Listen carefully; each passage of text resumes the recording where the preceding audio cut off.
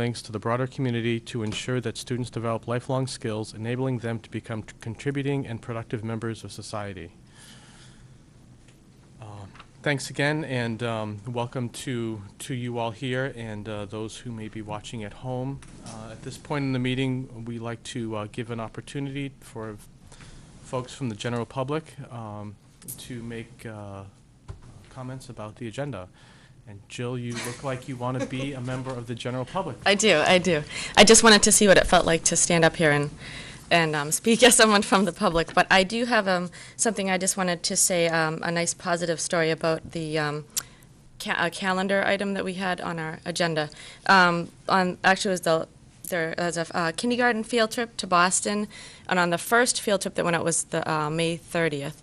Um, it was the morning kindergarten. There was a seven alarm fire on the historic Lobster Wharf, which is directly across from the where the Children's Museum was, which is where we were were heading that day. Um, and as a parent, I just wanted to say, uh, express some appreciation for the efforts of all of the, the staff and the, the people who were involved to make a tough situation better. Um, Mr. Thompson and Mrs. Howard did a great job informing the parents as to what the situation was and giving us the information and making sure we had some coordinated efforts going on to get down um, there without getting stuck in too much traffic. And I know that once we did kind of get diverted into the, the traffic, um, Edie and Faye in the office really kept the parents and the teachers in touch so that we didn't have to worry about, you know, where the kids were and if they were safe and everything. Um, I also wanted to thank the teachers, Mrs. Podier, Mrs. Sullivan, Mrs. Lazarus, and the assistant teachers, Mrs. Fisher, Mrs. McIntosh. And I think there's an assistant in Mrs. Sullivan's room who stayed to help out with a new student, and I want to thank her too. But they handled things very well and obviously set a good example for the students on the bus because those kids sat on that bus for over three hours, no access to a bathroom. Kindergartners. Um, when they got off the bus, we were already past the point where we were supposed to be returning home, um, and they had one hour to get off the bus explore the museum, stretch their legs, and jump back on that bus. And I have to say that Newmarket was would be so proud of those kids. I did not hear one kid complain. I did not hear one complaint when we had to get back on the bus. Those kids had a great time considering the difficult situation, and I think that that's a tribute um, attributed to the teachers and the tone that they set for those students. So I just wanted to make sure that that those kids knew that they were remarkable, and, and thanks to everybody involved that that made that go off as well, because I really think those kids thought that was maybe the way that the day was supposed to go, um, and they were great. they were great. So I wanted to say that, and I just had one quick question too. Um, if the public is, is invited to speak at the meetings and we have the agenda items, I'm assuming that the agenda items are posted outside of the meeting. Is there any way that we could get the agenda posted once it's kind of tentatively set on Channel 13 the week before? Because I think that one that might help people who want to watch the school board meeting not feel like they have to watch the entire school board meeting, but there might be some area of the school board meeting that is of special interest to them that they would be able to kind of have an idea of when to turn the TV on, and also just in general, just if someone wants to get up and speak here, how would they know what's on the agenda and if they can speak to that? So that's just something I wanted to turn it around that way and just think of how we could handle that better so that we can get more people that maybe feel like they want to come in and say something, but they're not sure what's on the agenda or if it's the right time to say it. Right. Well, the, thank you for uh, bringing that up too, because it's something to, to talk about. The Channel 13, though, is a tough place to read something like a page of text. Okay. So we maybe want to just hang a reminder there that you could browse to the web, district website, Okay. where I believe those are posted, aren't they? I don't know what the agenda is. I know the minutes are, but I don't know if the agendas are posted. And I know, obviously, there's a new website being developed, so that might be something we could work out to get that on there. And, Um, and It with, is on there. it is on there. Oh, okay. It is on there. But we The- can the list the specific on- URL and, okay. um, and with, uh, such a Joomla website that we have, it's very easy for those folks to update s- the. Okay, the and that was agenda. my So other it's question, really okay. not, it's easy. All this web stuff is easy, Okay. right? Or maybe they As, make it as look we'll, easy. as we'll, uh, learn shortly, or maybe even fun. So, yeah, but that's a great idea to have a slide that says, go, go to the, um, Okay. the website. Linda?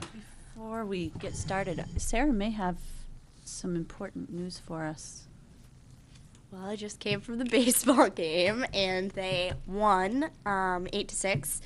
which was a relief because they were winning five to nothing going into the sixth inning, and then the other team came back and scored five in the sixth, and then Newmarket actually scored three runs in the bottom of the sixth, and then held them to a couple runs in the right seventh. So Great, so this is, that's the first round of the playoffs. that's the first round, and then they'll be playing again on Saturday. I don't know who the te- I don't think they know who the team is yet, but they'll be playing again on Saturday. I think at four, but I'm not sure where it is. Newmarket? No, it's not Oh, you don't Newmarket. know. I th- is I it think, in like Rochester? I think all the future games are at neutral territory. Yeah, so it's Plymouth somewhere. or- Yeah, somewhere like that. I think it's Concord.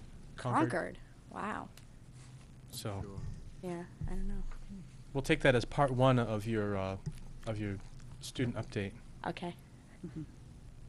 because we, we don't have you for too much longer, so we'll get, uh, hopefully a little bit more out of you, uh, before, before you leave. Um, okay, so, thank you for that, uh, positive news from the land of baseball. Um, the minutes, I'd like to quickly, um, review our minutes from the May fifteenth meeting.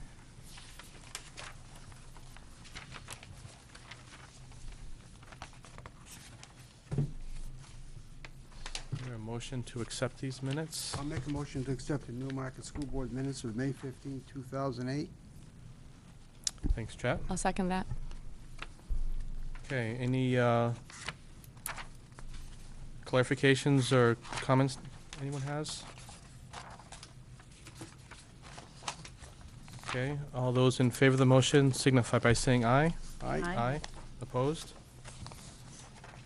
You- you Note my abstention on that vote as I was not present for the entire meeting. Right, thank you, Forrest, for that clarification. And that is mentioned in the, in the minutes. Okay, and we had a non-public session as well that evening. I'll make a motion to accept the uh, non-public uh, session meetings of, uh, I guess it's uh, May 15, 2008. Okay, is there a second? I can second that. Thanks, Jill. Uh, any comments? I guess my only comment, and I'm not sure uh, who the authority on such things is, but um, we went, we were in public session, and then we came, or non- non-public, and then we came into public session again. I'm wondering if that public piece should be listed on the other page? I suppose if this is all recorded in, in our records, it probably doesn't matter a whole lot. But, um, Tell you the truth, there was another, a- another page that Yes. talked about you voting when you came out. Well, or it's, not. it Yes, is on it. it's on the- it. See, Oh, I see. but it's Oh, in, it- in, but it's on the non-public. So it should be on a separate page as. or maybe, you know, the, um, the public session minutes should indicate we went into non-public session and then returned to public session and made the following, took we'll the make following that action. adjustment. Yeah. Forrest, did you have a comment regarding that? No, that's, that's the way they should be written, actually, yes. Okay. Okay, with that in mind then, um, is there any other comments on the non-public minutes? Okay, all those in favor then signify by saying aye. Aye. Aye. Opposed? One abstention. Okay. Terrific. So we, um, we had a, a youth be- risk behavior survey project that was, uh, We have done. You forgot one more. To approve. I'm sorry. I'm so excited to get to the program. that- I know. Was that a motion then, Forrest? Sure. Make a motion to approve the May 28 minutes as amended, so I'm about to amend them. And I'll second that. Okay, thank you. Uh, discussion, amendments. Two changes. Yeah, I do too. Um, in the business department update, third paragraph, where it says that, you know, it states the three reasons which we have, uh, made the decision to stop, stop pursuing the elevator construction at this time. Um, there needs to be a sentence introduced after three, because the actual third reason is not there. And basically that is, uh, that we don't If we pursue a renovation plan, we do not wish for the location of the elevator to limit design options, or in the worst case scenario, create a situation where the elevator be demolished to allow for the best construction solution, thus wasting an investment. That's actually the, the third reason I had stated. Okay. Did everyone catch that? The rest of the, se- the rest of it is, is actually correct as well, but Mhm. the actual third reason was the viability of the construction process. Penny, do you have that text? Okay, um, What was your second one, Forrest?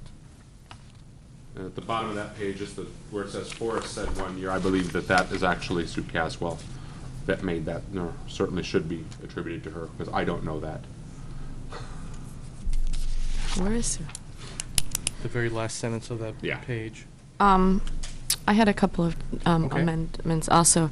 I don't know, I was just gonna check with Forrest, but um, in the second page, it said Forrest Ranzel said that paragraph, um, that we have a month before. It said, um, he said the, wait, he said the next logical step would be to plan a three to four story school. And I think he meant a three to four story addition to the school, not a three to four story school, and I think that's I have some gonna be. corrections for that page too, so. Okay. That area, that very area, but that's, that's probably a good, um, three to four story project in place of school is probably accurate. And, uh, I wanna clarify what I said in terms of the Department of Education and waivers. Um, I don't believe I said, he said that the Department of Education was pretty supportive. That's a much too general statement. Uh, What I would, what I believe I said there was that, uh, the Department of Education has been supportive in some communities with similar situations. And I cited Central as an example of that at the time with the field situation.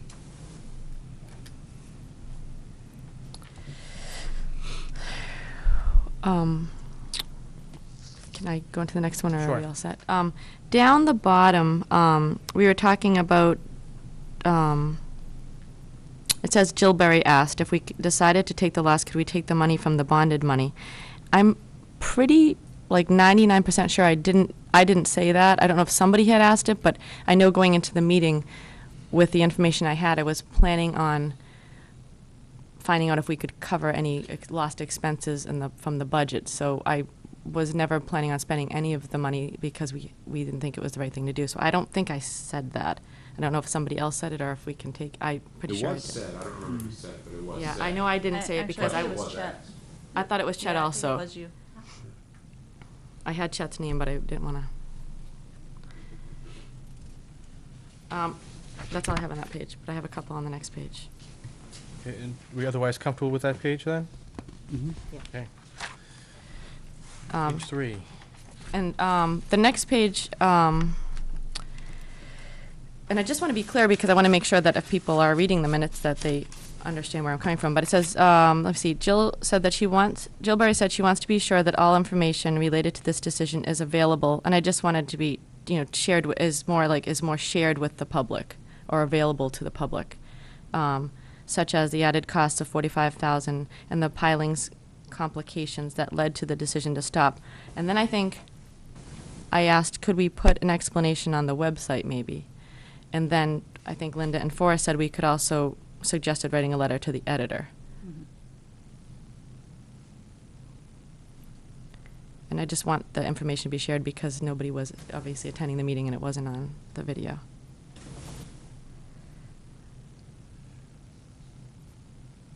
And then my last um, concern was, um, I guess it's the one, it's hard to tell where the paragraphs are, but it's, it's two, uh, under the bolded paragraph, uh, three, sorry, under, it says Jill Berry asked how much land was required for the new school. And I think I want to be very careful with that word, new school. And I would like to say, Jill Berry asked how much land was required in order to refurbish or renovate the current school. Uh, You did ask if, how much land was required for school project. You actually, you did actually ask that But question. no matter whether we decided to refurbish, or renovate, rip Right. it down and rebuild it, Right. I wanted to know how much land we needed, Right. but I wasn't insinuating we were building a Oh, new school. fine, I'm fine. keeping my options open. So if we read that, if that read, uh, Jill Berry asked how much land was required for a school project? Exactly, that's great. Okay. And that's it. Any other uh, changes?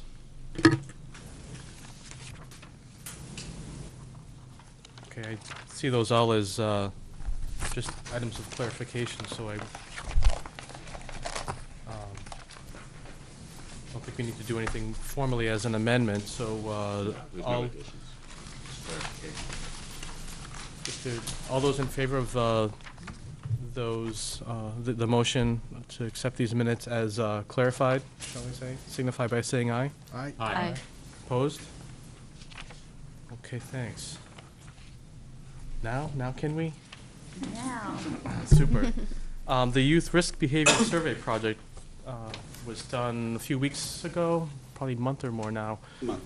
Um, and, um, we have some folks here this evening to present the findings of that, and with no further ado, uh, Jim Fabiano from our Science Department, if you could, uh, kick things off, that would be terrific. Okay, well, thank you very much for inviting us in. Give us a second, we're gonna move around so that we can see the, uh, the screen. Oh, I thought I was scaring you. I guess I was.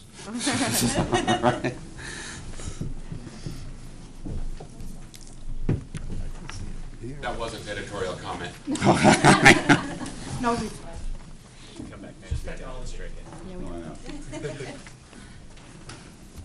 Okay, This is scaring me now. Okay, to give you some background on what's been going on here, um, a couple of years ago, uh, Rosemary Orgren, who is joining us today from Dartmouth, Dartmouth Hitchcock, uh, contacted me about a grant that was going concerning public health and how the schools and the community can work together to strengthen our populations and to build a bond between the schools and the community. Uh, we, I, I wrote part of what you asked me to write, and I was very happy to say that we were part of a grant that has Dartmouth um, attached to it. And then David Cull worked with us, and he's the student, graduate student from Dartmouth that worked with us all year to attempt to build a program by um, bringing out questionnaires to the town, et cetera, bring information in and build some data so we can start this program. This is not a one-year program. This is a multi-year program. And we have a lot of offshoots to this program. Uh, As you know, that we sent a lot of our anatomy and physiology students down to Harvard, uh, Beth Israel, and it was a very exciting for our students. So I'm very happy to say this program isn't just working with the, the public health, but we're splintering out because it's an outreach program to the universities. And the science department, as you probably know, we've been working with many colleges uh, in Boston and University of New Hampshire, and I'm thrilled to say Dartmouth now, uh, to try to build a better community in our school. So, uh, again, I'd like to introduce Rosemary Orgren from Dartmouth, and this is David Cull from Dartmouth, and he is going to go through the PowerPoint that pretty well explains all the work we've been doing this year. Thank you. Well, Thanks, Jim. Um, I- I think that, you know, it kind of goes as a given that um, in order to improve public health, one of the things that's fundamental to that is actually doing science education. And uh, through Rosemary's work um, in the New Hampshire Area Education, or Area Health Education Center, it's a lot of acronyms here, um, that uh, they've been able to reach out to the Howard Hughes Medical Institute and pull in uh, grant money. And she's actually built this program, and she'll be um, kind of ushering it through the multi-year phase with Jim. Um, I'm actually finishing up here at Dartmouth, and actually, I'm already done. I think they, they still. Great, Gray's were in on Wednesday, so um, uh, I'm finishing up. But I wanted to just take a couple of minutes to uh, one uh, recognize some of the work that's been done here and the folks that are going to be involved on a multi-year basis, and then also share with you some of- some of the results of the work that we've done in order to be able to solicit some input from, from this group as to um, how our recommendations would fit with moving forward.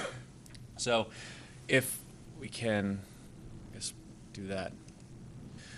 So, in a nutshell, we've actually um, planned on conducting three activities throughout the school year. The first um, was actually uh, what we called our DECAL Roundtable Workshop. Um, and DECAL stands for the Dartmouth Center for the Advancement of Learning. It's our own internal think tank in order to improve our own teachers. And this year, we actually had a special branch program that I'll, I'll talk a little bit about that involved bringing in the Newmarket Science um, Department as both a resource for our folks to help them become better teachers, and then also to share collaborative learning techniques amongst the group so that we can bring that back to Newmarket uh, as part of the um, our part of a, an effort to um, do innovations in how these folks are actually teaching and how students learn here. The second thing that we actually went to do with, um, had to do with a, a student-centered community smoking cessation and cancer program. And uh, we'll talk a little bit about that. It was a two-phase program and uh, involved both the, the students and um, the parents as well as uh, some individuals uh, from Harvard Medical School and Beth Israel Deaconess Medical Center. Uh, Dr. Gaëtane Michaud wishes that she could be here tonight uh, also to share with this as well.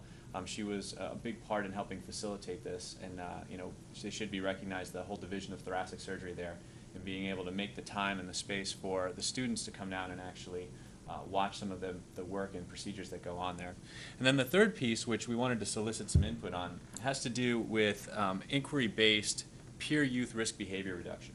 And what we're attempting to do here is to, in the spirit of, of curricular innovations and actually changing the way that learning is done, um, try to create a program whereby we might reduce uh, risky behavior that's been identified through the YRBS or the Youth Risk Behavior Survey that's conducted by the state and the CDC. Uh, and be able to do so in a kind of an innovative way and, and hopefully be able to measure the effects of that over a longer period of time. And uh, also plays back into you know doing the roundtable work and, and the, the, the teaching work uh, to be able to kind of set the stage for that. So um, to, I don't know how to go back here. So to, to review the, the roundtable workshop, it was actually conducted on, on March 8th in 2008. Um, we had 25 attendees, and that included Dartmouth faculty, it included uh, postdoctoral, um, PhD, new teachers in our program, included um, medical instructors that are very tenured, professors that are tenured. Uh, Rosemary was there as well um, and just a, a, great group of people, including the new uh, Newmarket Science Department, and it really created a very cross-discipline team of science instructors, and we were able to really take a, a deep dive and, and see where there are similarities and issues that cross boundaries for teaching and doing science education. And what we're going to be continuing to do as a program, and Rosemary is going to be ushering this in, um, is we're actually doing another teaching institute this summer, and we hope that this is an ongoing collaboration between not only um, Newmarket and, and the, the Dartmouth folks, but also inviting other school districts to be involved. I know that our faculty and staff um, and students actually greatly benefited from the program by having the participation of the Newmarket folks, and we're hoping to continue that collaboration into the future uh, to mutual benefit between uh, both parties. Um, the focus of the workshop too was actually to develop what we call collaborative learning techniques, and um, I, th I, think we'll go over it a little in a little bit more depth when we get to the uh, the peer youth risk behavior reduction program. Um, so I'll save that for then.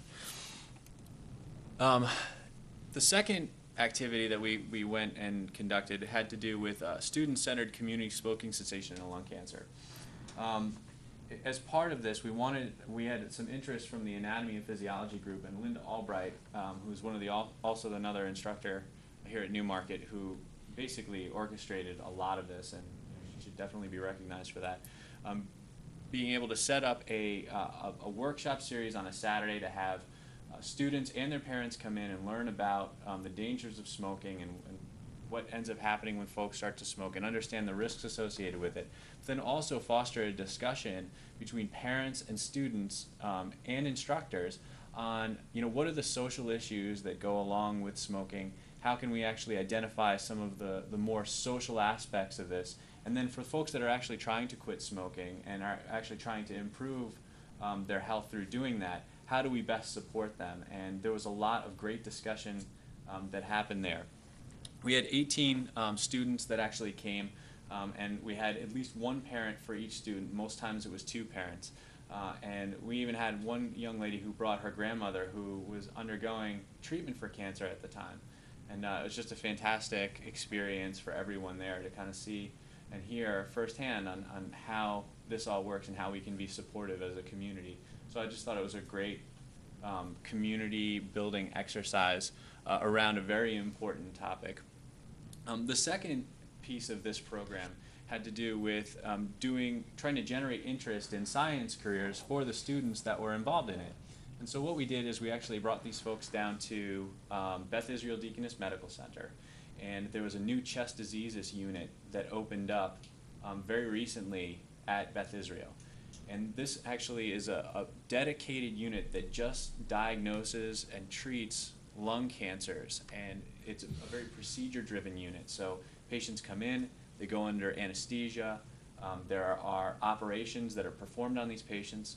Most of them are have to do with sticking cameras down into the airway, taking a look uh, at what's down there, and being able to biopsy it with different types of devices.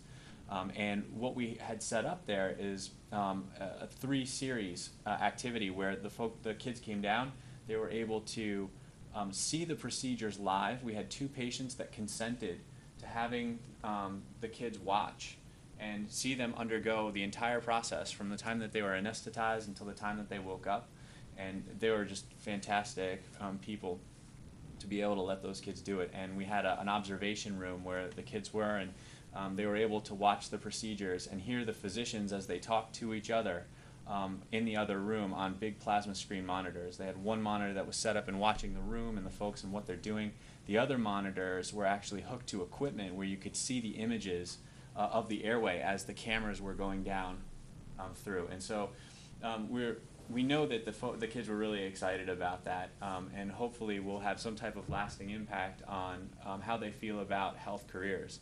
Um, the the second piece of it that in um, out of three was we actually had a lot of the other health professionals besides physicians come in and talk to um, the kids about and how health careers are important to them and why they've actually chosen to actually go into health careers and why science, you know, how their science education has played into that. And this ranged, you know, not only doctors and nurses, but also administrators, folks that like work behind the scenes that actually help facilitate in building this big medical machine that we all, you know, have come to rely on day in and day out. Um, so it was a highly successful uh, event, I think, in our minds. I think that, that uh, we've been recognized for it as well. We had a lot of write-ups um, in different papers. Uh, Beth Israel Deaconess actually featured this on the front of their website for several weeks. Uh, it was released to Associated Press as well. And so I think that for the, uh, the students that were involved, that they should be recognized and be extremely proud of themselves for being able to participate uh, in this. I mean, there, I think there were a couple of instances where some, some folks got queasy, but, uh, but they actually made it through it, and there was a lot of work done on their part to be able to participate uh, in this program. So um, just wanted to recognize those folks. And then the last piece where um, we're looking to get uh, the input of this group, and, and what, I'd like to do is be able to share, you know, um, the, the impetus for actually doing this inquiry-based uh, peer youth re- uh, risk reduction uh, initiative, and kind of share with you how we got there, and then also share the results of a survey that we did of the community and what our recommendations are uh, moving forward. And we'd like to be able to get some input from the community and from this group in particular on whether or not um, you know we should how we should move forward based on the recommendations, uh, and should it be readdressed at some point, or or should we move forward the way that it is. Um, the specific aims of this particular um, this particular activity had to do with uh, reducing priority youth risk behaviors in Newmarket. Um, for those who don't know, the, the Youth Risk Behavior Survey um, identifies a number of different risk behaviors that students may engage in. And it can compare them between the, the rates at which these things happen in your specific community to the state community. And so what we wanted to do is actually prioritize some of these youth risk behaviors by identifying the ones where they might have actually been a little bit higher than, or a lot higher in some cases, than what the state averages were, and call them priorities and say, okay, maybe this is an area where we might be able to improve because it kind of stands out in this youth risk um, behavior survey results. And the three areas where uh, we saw was one was um, it was a, a, sedentary lifestyle and uh, and I think it was overweight. One was uh, substance abuse and that had, was specific to uh, use of inhalants, so kids that were sniffing glue. and um, the third was uh, was mental health, and specifically it had to do with the um, the severity of suicide attempts, and I guess that um, the number there are a certain number of suicide attempts that have occurred over a period of time that the kids were actually documenting, and um, the number that actually required medical intervention uh, were, was much higher than what the state average would have for a suicide attempt that requires medical intervention. So we wanted to address these three pieces. And then the second, um, you know, specific aim of this particular exercise was we identified a need to do um, scientific inquiry as part of the NECAP curriculum. Um, and and um, Mr. Fabiano wanted to address that with this program as well. So we were trying to kill two birds with one stone, so to speak. Um, the program overview, what we wanted, we wanted to do is first um, survey the community based on these priority risk behaviors in Newmarket. We wanted to survey the community and identify from the parents uh, which ones were actually most important to them, uh, which uh, topics they actually think some type of intervention could even be performed. Because in some cases, you know, there, there are issues that are out there that maybe, you know, this is not the appropriate venue to go after. And we wanted to see whether or not, if we were to propose peers um, doing the risk reduction, so having other students help in reducing the risk, whether or not they thought that that would be appropriate. Um, there was also, you know, another whole cascade of related activities which we won't go through, but had having to do with, uh, you know, analyzing the YRBS results and doing the uh, collaborative learning workshops and everything else that went with this. So this was kind of an elaborate um, activity that took us probably about six months to get to this point. So um, the community survey, we actually mailed uh, and created an overview of YRBS, and we identified that these three areas were kind of off from the state averages. Uh, we sent it out to 450 parents on April 10th.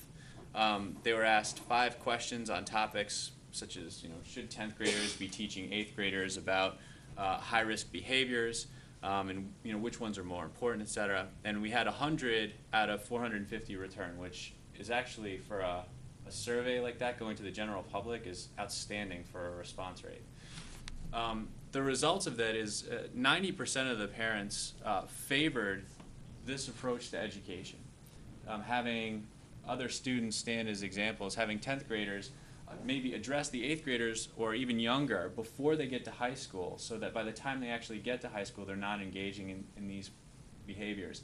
And it sets up a, um, you know, with peer learning, it sets up a, um, an environment whereby it's not somebody coming, you know, from the, the, you know, a parent or a teacher coming down, you're not going to do this, but maybe it's something to the effect of um, students saying, well, you know, we know people that have done this, and you know, it hasn't really worked out well, and here's, you know, why that is, and you know, why other students may think that it's important that they not do engage in certain activities. Um, 2% actually had a positive, but we're unsure of the impact that this will actually have. So if you have kids talk to other kids about risky behaviors, you know, okay, that's fine, but we don't think it's really going to work. 2% of them uh, were unsure whether or not um, it was going to work, but they were neg- you know, very negative about it. Whether they had comments that were to the effect of, this is probably a bad idea, and we don't think it's going to work. And then um, there was 5% that were actually adamantly against the activity uh, and refused student participation um, and to have their kids involved. So taking a look at this, I think overwhelmingly um, there is support for this within the community to do it. And I think that, you know, based on folks not wanting to have kids involved, there has to be some type of out associated with it if we go forward with doing an activity. So our recommendations moving forward is we want folks to know about what the results of this survey were. And we want to be able to publish those results and, and um, through some venue, whether it's either the website, uh, working through um, Comcast here, or uh, actually sending out an additional mailer to let people know, you know, we asked everybody, here's what the results were. Um, the, and, and also I should mention too, that the, uh, the priority issue was the uh, inhalants uh, the kids sniffing glue. Uh, there was an overwhelming majority of, of parents wanted to make sure that their kids weren't sniffing glue, which I don't blame them. Um, and then we, we actually are saying that we should move forward with a, um, this peer learning activity. And we can actually frame that through, um, Mrs. Albright, um, doing some neurobiology work, um, and what the neurobiology effects of inhalants are as part of the, the science instruction. Uh, and then kind of bring uh, a second phase of it in, which is the more peer learning, um, social, here's why you probably shouldn't sniff glue, um, talk from the tenth graders to the eighth graders. Um, and um, I think that that was pretty much all we had. So I wanted to just take a quick moment and see what are your guys' reactions to this. You know, based on our recommendation, you know, what's the initial feel and uh, feedback do you have for us based on the activities that we've conducted so far? Well, it strikes me that you've taken a very thoughtful approach and um, worked down to the appreciation for those that don't, that- that want to have uh, no participation, the sensitivity to that piece of the community, um, I think is important, but the, I'm uh, very impressed with, uh, with the direction you're going personally. Very positive about it. Perfect. Were there any questions that you folks had on Dartmouth or the Dartmouth program or Harvard Impressed or? with the return rate on your survey, I wish we could get a return rate like that. Um, Tell the kids, tell the parents that their kids are sniffing glue and you'll get it. Yeah. it. So unfortunately, we're, we're surveying different things. Um, But I I do, I do wanna say that I agree with Cliff that, very well-reasoned and thought-out approach, and I'm, and I'm one of the, we, I believe we answered, I'm one of that ninety percent, I do believe it has, it had, the pro approach has merit, I just do believe that those tenth graders, have two points, I guess, that the tenth graders that are selected, that we do out, outline some, you know, some training for them so that they are, you know, they're, they're versed in the, you know, the dynamics of what they're delivering, and it's, mm.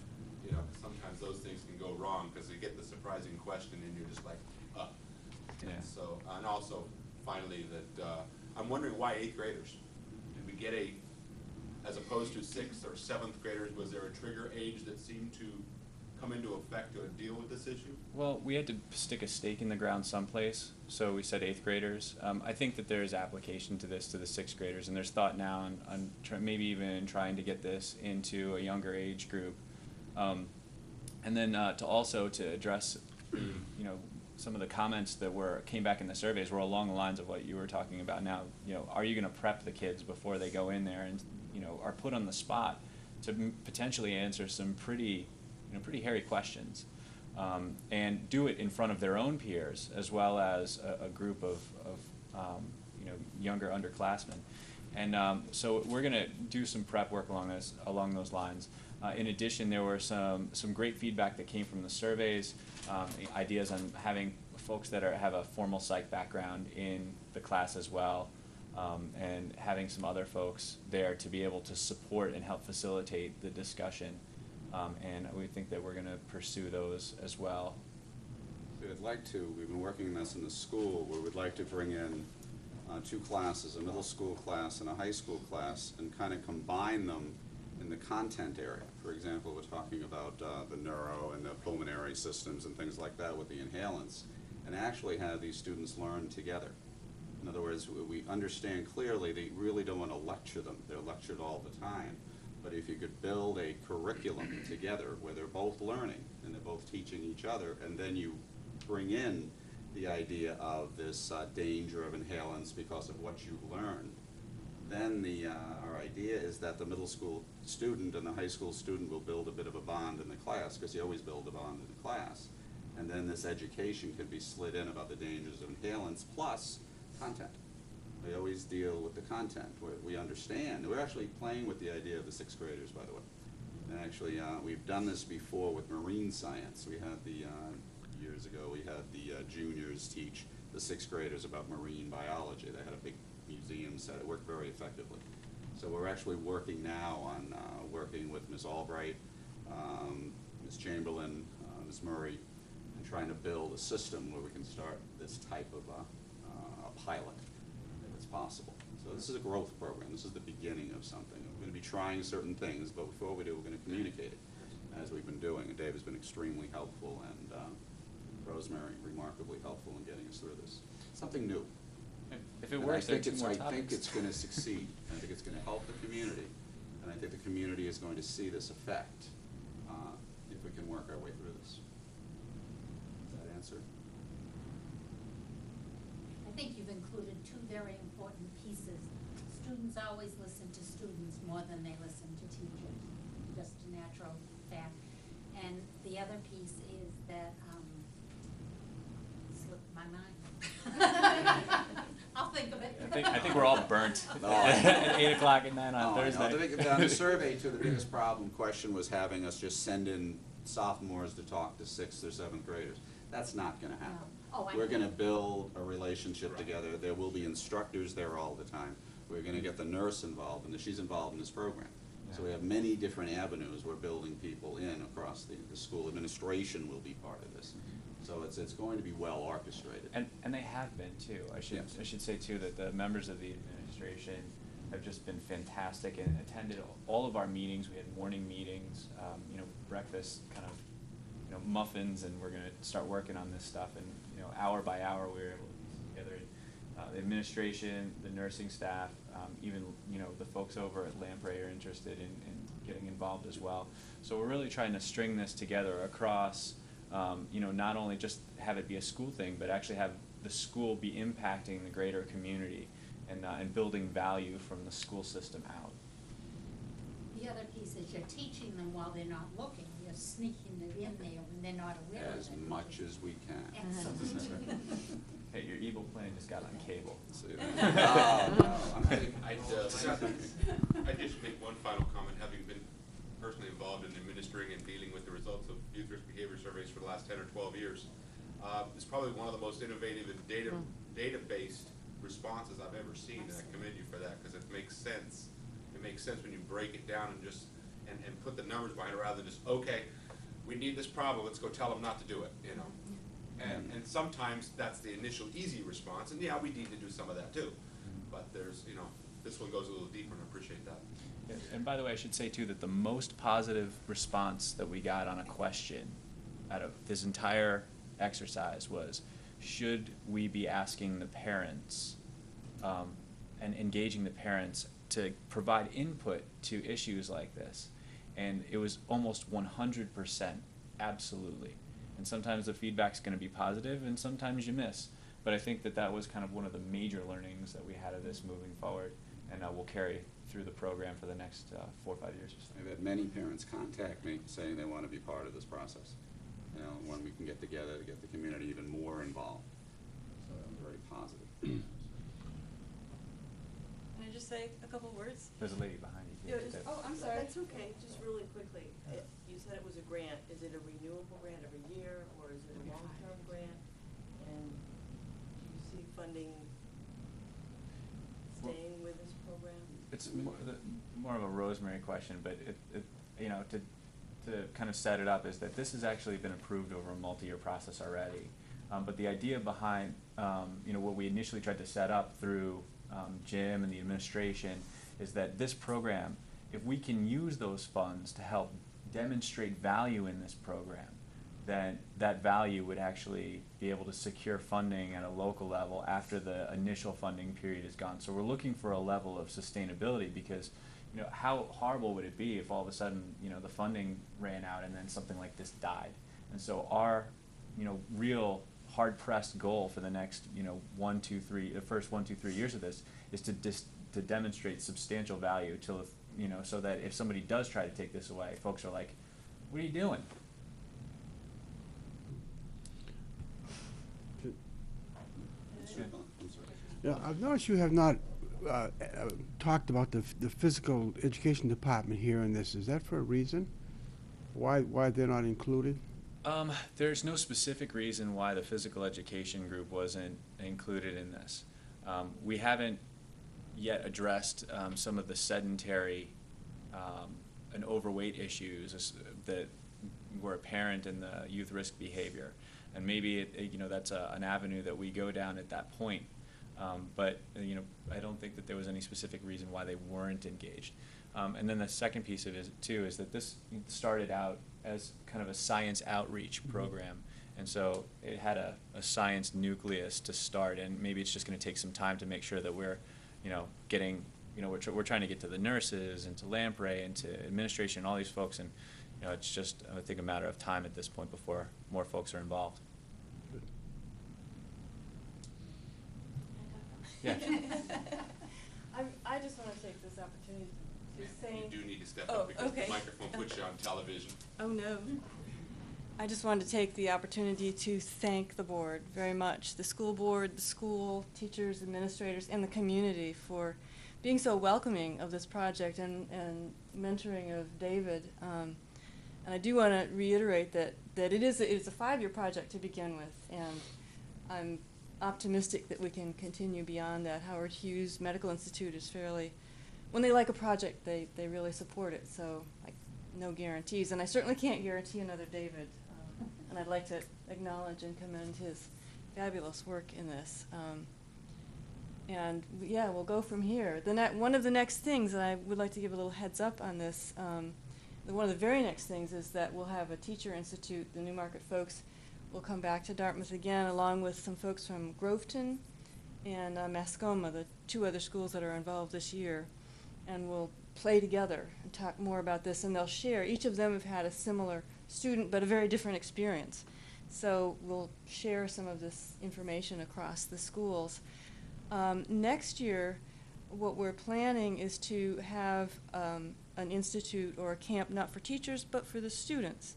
So there'll be an opportunity for a number of select, uh, pr- probably on a competitive basis, but for some of the students that are involved now, to come to Dartmouth and learn even more about public health, learn a little bit about some research.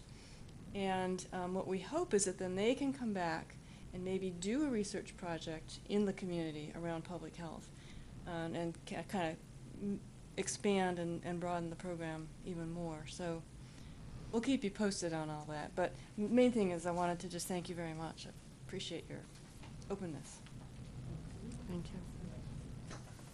Thanks, folks. You, the, um, th- I can sense there's a real, um, bit of momentum and, and excitement and being so early in the process. It, it seems already it's been tremendously successful Yeah. out of the gate. I mean, really though, that's the work of, you know, Jim and his group, the science department there, they've done a fantastic job in being able to generate a lot of consensus and and buy-in and momentum around the idea of doing this. Thank you. Thank you very much. Thanks for coming. I've always heard, I've, um, since I've been on the board, I've heard a lot of wonderful things about the science department, and I have younger children, obviously just starting out in school. But um, thank you. The presentation was very informative, and um, and it's it's exciting to to read the whole survey and, and to find out what's what's going on, and and just to see um, how we're going to try to address those issues in such a an innovative way. Thank you.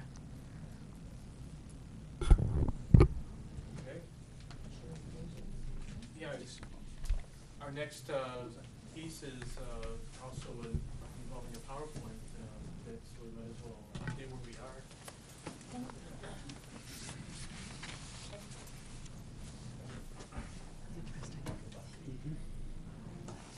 It's not that bad.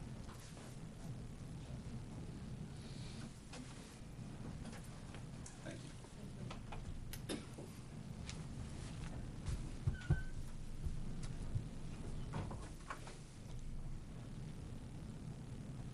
It's all yours, Kristen. All right, tough act. That's a tough act to follow. I'm Kristen Kiefaber, and I'm here to present our new school website, which I've been working on since I think it was December of last year. Um, the rollout was kind of in a response to some of the upgrades that we did at our school. We kind of had teacher websites and then we lost them for a while, and in a panic to rearrange and get what we want, we've actually made some huge leap forwards, and it's pretty exciting. And I'm going to tell you a little bit about our new website and the platform Joomla, which is what we're using. So this will be our front page. It won't have the under construction note on it, but it'll start off looking, um, hopefully most of the stuff that are, is really important jumps right out at you there. So if you want to know something about the SAU, that SAU 31 jumps out at you. If you want to know something about the elementary school, you're going to click on all these things to navigate around. And we're hoping that logic prevails and you can find what you're looking for. But if not, there is a search button that I will show you later, and you can use that as well. Um, so this is the SAU site. Um, district departments. If you click this, this is so cool. I love Joomla. Let me go down a little bit here. We'll get rid of, you know what the top looks like now. We'll give you a view of the um, two menus that pop up. Every time you click a new thing, a different menu pops up under it. So this is the district departments. We have the superintendent will have um, his or her own page. Um, district office will list everybody in that district office. I can actually click on some of these if you wanted. Superintendent, they're all, this is kind of a framework, so it's kind of where people will build off of. It's kind of a skeletal system, and we're hoping that a lot of people over the summer will start filling in the meat on the bones here. Um, uh, This is district office, superintendent. The district office is just a list of who you want to contact, their numbers, names. You'll have to go through this on your own. I don't have time to slow down too much through here. There's a curriculum page, staff development, food services. You know, some of this has content from the old site, so it's on here. Um, some of it is brand new and it's just empty pages. Employment opportunities, if you need a job, you can go see our employment opportunities. There should be a list here. Um, We have, uh, student services, special ed. We just need a bigger screen so I don't have to keep holding down on you. Um, technology, business, school to career has a little site, I'll show you that one. They have a nice little graphic they've gotten. This is off their old website, so I did a little transfer onto the new website. So some of the, some of the stuff has content, some of it doesn't. Uh, School board, oh, you'll be interested in this one, I'll give you a tour of the school board. You click on the school board, you should get a little menu that shows, all of these things will show up over here, so you don't have to keep going back to this page. It'll just stay in this side kicker menu. Love the little menu setups. It looks very professional, doesn't it? Um, So school board members, if you want to know who the school board is, you didn't quite catch their name tags. Um, Name, contact information is all on here. Uh, Policies. This is a pretty big project. I mean, this all looks pretty minor and everything, but if you actually click on, as school board members, you know how many students type policies there are, and each one of these is a separate policy, so we'll click. fully searchable. We'll click a random, and it's fully searchable. So you can find any policy on anything. If you put in, I don't know, drugs and alcohol, about twenty-seven policies pop up or something like that. I have no idea, a lot of them. Um, so that's pretty neat that that's finally on there, and hopefully we'll go through and polish that up. And there's a couple repeats and things like that, but we'll get that ironed out hopefully before the summer's over. Uh, budget is a blank page now, but there's something if you want to show the world anything about your budget or post-budget information, there's a page for that. Uh, Committees, you got a facilities committee, a a NEF or a Newmarket Education Futures Committee and a Budget Committee. There'll be pages for those if you want them. Uh, Meetings, we're going to post all the meeting schedules there, and they'll also be in the calendar, which I'll show you as well, which is pretty neat. And then somebody was asking about the, the minutes and agendas. Right now, um, I just have it set up as an archive for all the past ones, so if you click on any of the past three years, we'll go to this year, which isn't fully archived yet because it hasn't fully happened. But the agendas are the starred ones now, and then they're replaced by the minutes once the minutes happen. Today's is up, not on, The agenda. The agenda's up, as we were asked earlier, with regard to Ms. Berry's question. Yep. the agenda. So the agenda is on there, and it's on the current site as well. Do you want to see it? See what it looks like. Did I click it? It's a PDF, and I don't know how fast this uh, Oh. laptop is. It does say it's loading. laptop have Adobe on it? Oh, I don't know. Let's abort. This, this is why, I, oh no, I froze it up. Should I just close it?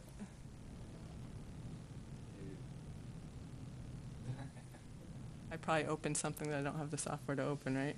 How long is that gonna take? Eternity, we could, I don't know. Um, Press Control Alt Delete. It's completely, it's completely not respond, there we go. That's, yeah. Yeah, okay. No more PDFs. We, no more PDFs. Don't make me open up any PDFs. Now, where would we post something like a letter about the um, elevator? Where would we post that? A letter about what? The elevator. Great question. Um, yeah, I I would say that might be a news item. It might, you want, might want it right on your front page here. You'll be able to put some stuff right on your front page. So if it's a current news flash, you might want to just put it right across the top of your page, but that's all stuff that will be up for discussion. And part of the beauty of this website is you can assign rights to different people. So like the superintendent could have rights to their page and decide what they're going to put up and update the page as often or as unoften as they care to. Um, Did I get through this? Under construction, it's kind of a good head. No. Oh, so I made it through the school board. So I could keep going through this stuff, but I won't. Um, community, I just have transportation, channel thirteen, and links. About us, there's a district newsletter, which is a PDF, so I won't open that, and a district report card and directions. Um, closing and delays, where to go if it's a snowy day and you want to figure out whether or not school's delayed or closed.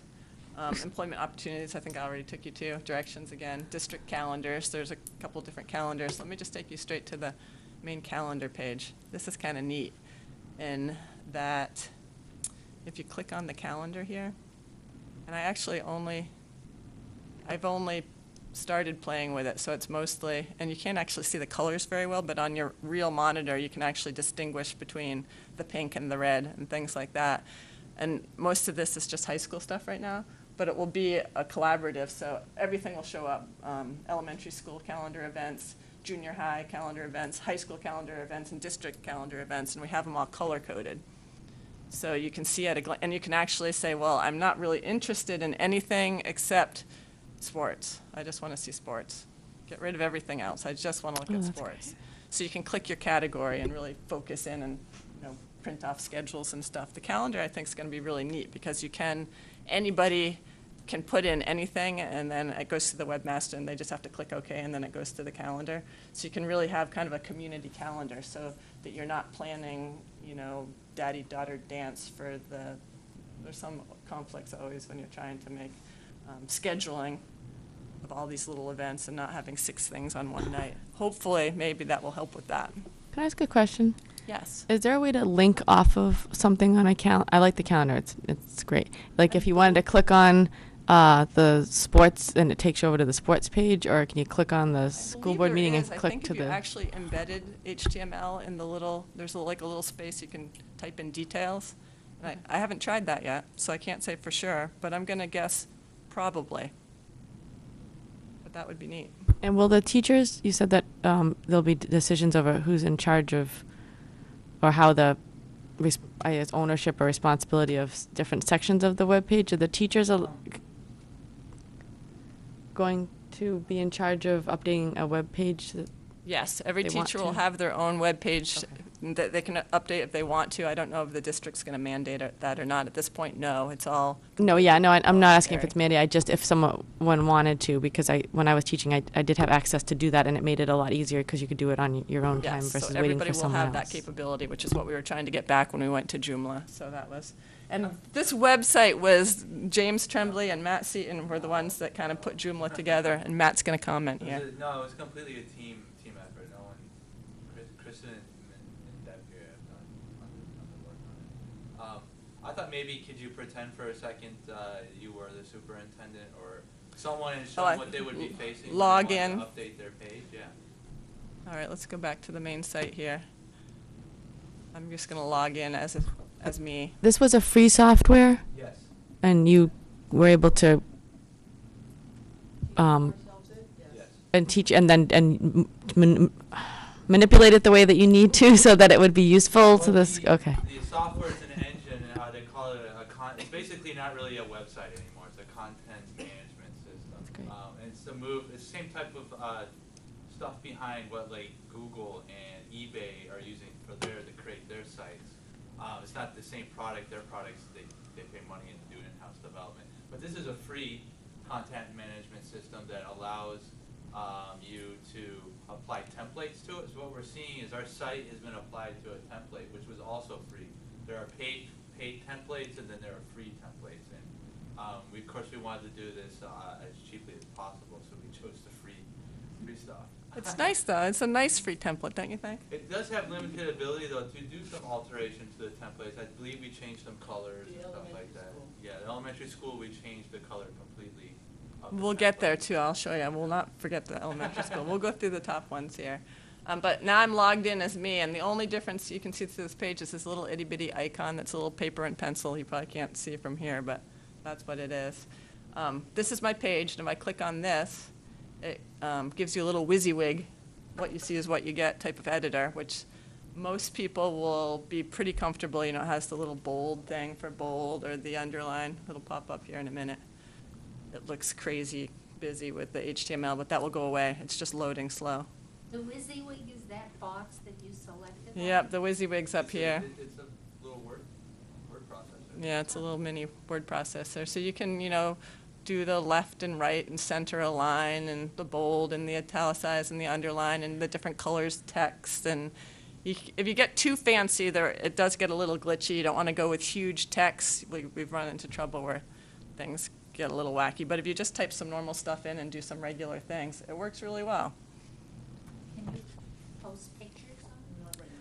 Right now, the average person can't. You have to be an administrator. So Deb Boatright and myself can post a picture, but nobody else can. Well, you can actually you can post a picture, but it has to be in the library, and there's only a very few graphics in the library right now.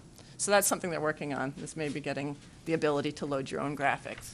So that's hopefully down the pike. So I would edit whatever I want, add whatever I want here, and then I would click um, save to save it, apply to apply it. I could apply it and then go open another window and see how it looked and decide if that's really what I wanted to do or not. Um, and then this X would cancel it out. So it's pretty, hopefully pretty, I think it'll be easier than our last website, which was a little bit more complicated where they had to, you know, kind of put it into a Word and then save it as an HTML and then remember what folder it was in. There's more multi-steps, enough that scared off more teachers than I would have liked. I think most teachers will be comfortable at least having a little basic page with at least contact information or when they're, you know, best time to reach them or how long they stay after school or what days they stay after school, things like that. You know, the bare minimum would be great. And of course, it would be lovely if you went through, I went through and, well, let me get out of my edit view here. Cancel that, get back to the regular view. And you'll see that that little symbol shows up everywhere for me because I'm an administrator. It only shows up on the pages you can edit if you're a regular teacher. So I'm going to log back out so you get the regular view here. But, oh, I shouldn't have done that. Oh, well. Um, physics level four, this would be one of my physics classes where I give a little, it's just a little description right out of the um, programs of studies. It's nothing I've made up again. I just have it there for the convenience of the parents that the kids are taking my class and they might be on the internet checking out their new teachers and seeing what's up. And then I have, and I'd love to see everybody do this, especially the middle school because they don't have a program of studies, is have some kind of curriculum overview. What are they learning in my class? You know, what, what's going on there for the year? And just, you know, it's just bullet items. It just gives people, you know, kind of a general idea what the heck happens in physics. It's not very elaborate, but it gives you an idea. It's kind of topic related. But it's a conversation starter, you know, if you have a kid in physics and it's the end of the year and you'll be, you look on the website and you see that they're doing rocketry. You have a little, sometimes they don't come home and say, I'm doing this great rocket project, mom, you know, sometimes you have to kind of start the conversation. You go right to the website and find a little conversation starter there. And then what I was going to show you is the teacher information page. I actually made that so that you can only see it if you log in. So I have to re-log in, so I blew that one. What's my name? I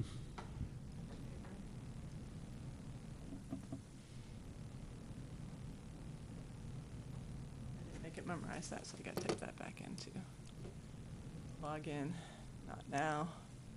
And this is just so I can put stuff in here, but if you Google on it, it won't show up because you need to log in to see the personal teacher page. But this is more of a um, conversation starter, or at the beginning of the year, you know, some of your students might never know that you mountain bike or you ride horses or you like to do triathlons, all that non-school related stuff, or you know your favorite ice cream is Ben and Jerry's. I put little silly stuff on my teacher information page.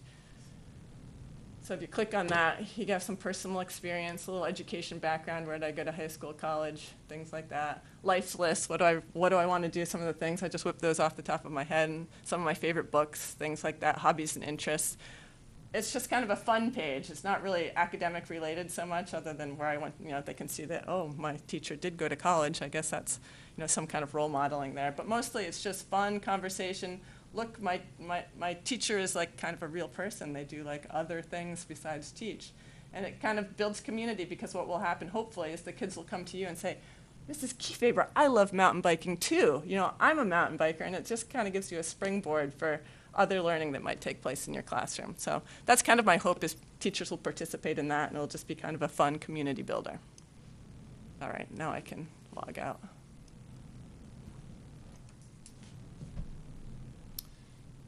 You need to be an authorized viewer to view that source. So that's what it will give you if you're not logged in and you try to um, see the teacher information page. And you can make that completely public. That's just a little toggle when you're designing the page. You can either make it a registered u- user only, or you can open it up to the public. And there's really nothing there that I wouldn't open up to the public. But some people don't want things, you know, showing up on Google when they type in their name. People are, you know, it's good to have a little privacy. Um, I'm already on the internet so much that I wouldn't care. So you can see all my cool running activities and uh, everything's on the internet. So there's no secret there. You can track my life basically. Um, so we'll go back. We, we went pretty much to the SAU. The elementary school it's a different color, more elementary school appropriate, a little bit more fun and festive. Deb Boatwright is going to be managing this and loading on the content here. And again, right now, it's largely just skeletal stuff. It's the bones are there, and she's working on the fleshing out process, building out the, you know, things to actually do. So she's got homepage is what we're looking at right now, and Joomla is different than a regular website where you actually talk about pages there's not really pages in Joomla. There's like combinations of there's menus and templates and modules. It's all kind of it's hard to explain, but it's a little bit more sophisticated and complex than just having a page. So there's not just a stationary page like our old website would have been, but it gives you um, abilities to do some more sophisticated looking stuff. For one thing, you can do all these really cool menus. Um, so she has like grade lev- levels you can go to and find your preschool teacher, your first grade teacher, and all the way down. I won't bother thumbing down for all these, but you can get the ideas by just looking at the first few things. Um, all the departments that are at the elementary school, you can click on any of those and hopefully learn a little bit about the departments, the activities. They have art club and band and chorus and Lego league and language club and student council, um, athletics, archery club, bike club, cross country, jump rope. Uh, web resources is something that Deb's worked a lot on, has a whole bunch of information, and she's got to load that onto the new website, which is going to be a going to be a major project. I don't know how much she has in here. Oh, look. That's nice. So you can find out a lot about a lot of things on the web resources page.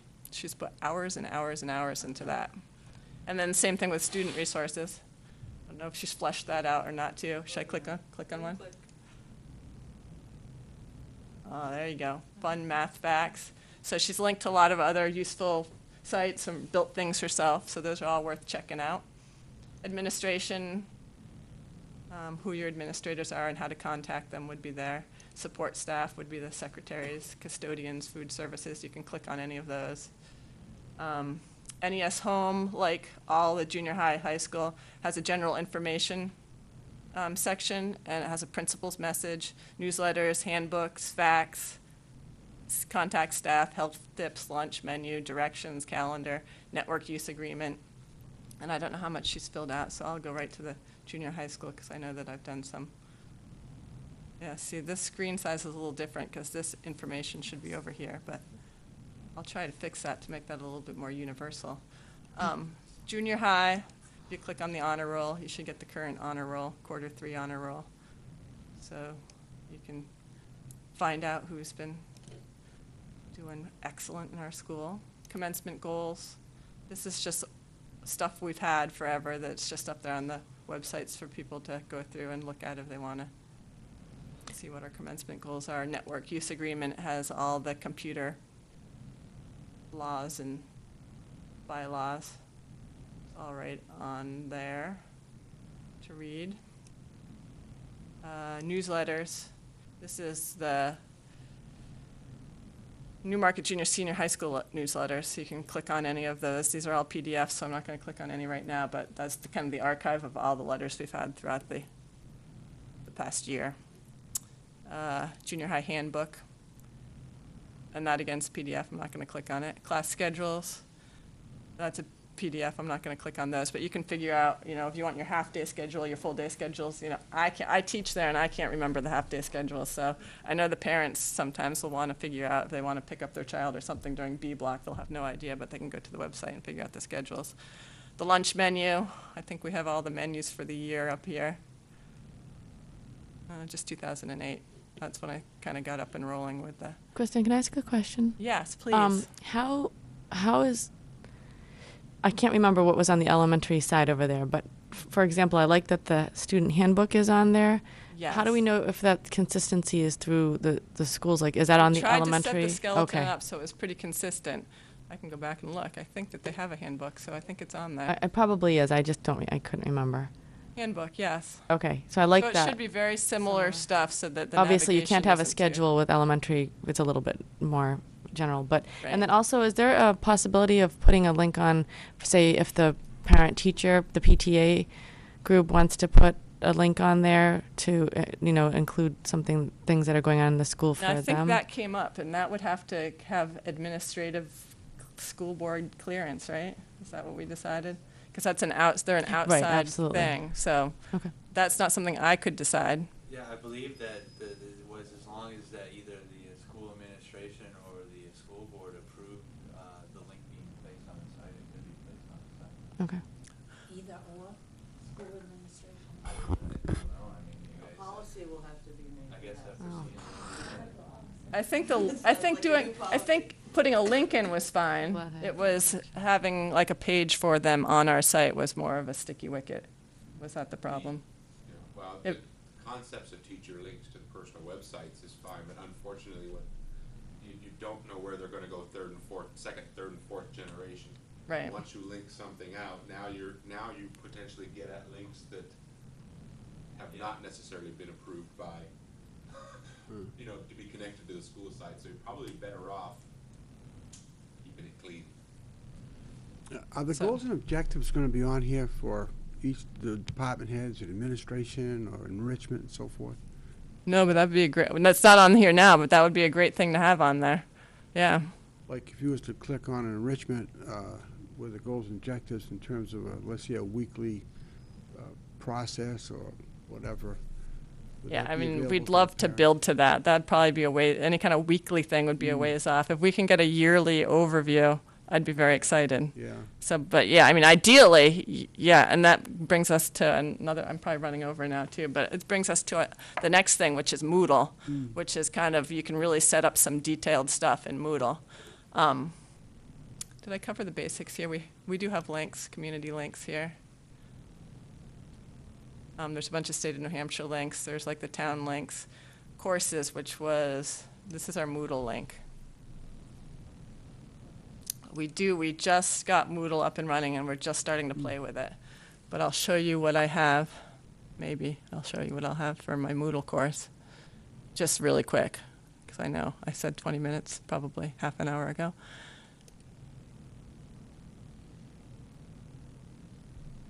Again, I have to log in.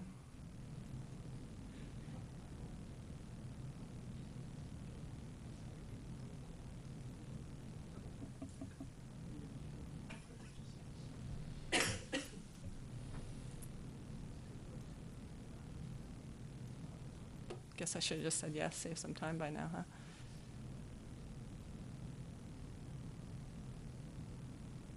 I mean, I'm sure it has a timeout though, I don't think we've previously logged into it. All right, so this, I set up a, I, one of my classes, unfortunately, I teach physics, which is a, a lab class, but I have a computer lab that I have to teach it in. So for that class, I actually set up, there's a lot of um, interactive applets and stuff we could use, so it actually lent itself very well to using Moodle. But this is kind of my year class right on here, and you can pick different stuff, which I Ah. won't subject you to now, but you can get an overview of, you know, we started off with safety contracts and, you know, your book covering assignment, and everything's like, every little one, the hand and a paper means it's an assignment, and there's a grade and an assessment associated with it, which could be, yes, you turned in your, you know, it could be very simple, or it could be, you know, an elaborate feedback. Um, I find it works great. This is L4 physics that I did this with, and you know I did have some kids with IEPs, and the kids that have organizational difficulties, this worked fantastic for because they could go through and look at their grade at the end of every week. When I open up a new thing, their grade is terrible because it averages in a bunch of zeros. But at the end of the week, I'll say all your grades are in. You can look to see what your real grade is now, and they'll go and look, and they'll be like, oh, "I'm missing that assignment. It's bringing my grade." Now that's kind of a motivating factor that to know that their work is accountable and there, and they can see it, and it's very tangible. And if they're unorganized, all the assignments they can print back out again. It's right in Moodle. It's really pretty cool. It's a kind of a powerful tool, and I've really um, had some fun using it. But this is kind of the overview of my year. And I got, you can see at the end, I got a little bit more sophisticated and I started adding, where did I start adding? Some, oh, I didn't do it on this course, I did it on my SPD. I started adding links from the internet so that I could click to the applet straight. And you'll see a little world symbol that symbolizes it, but it, I'm actually been using my SBDC account, so it's not on here. But it gives you the general idea, Elaine. So your students have access to this? Yes. But they can't change it? You can make the assignments so they can't resubmit, or you can make it so you, you know, you can say, well, you know, that lab wasn't really very good. I just clicked off the you can resubmit button. Please turn that in. You know, you can make it either way. You can shut it off so they can only submit once, or you can make them, let them submit as many times as you want. So there's little toggles that do that kind of stuff. Hmm.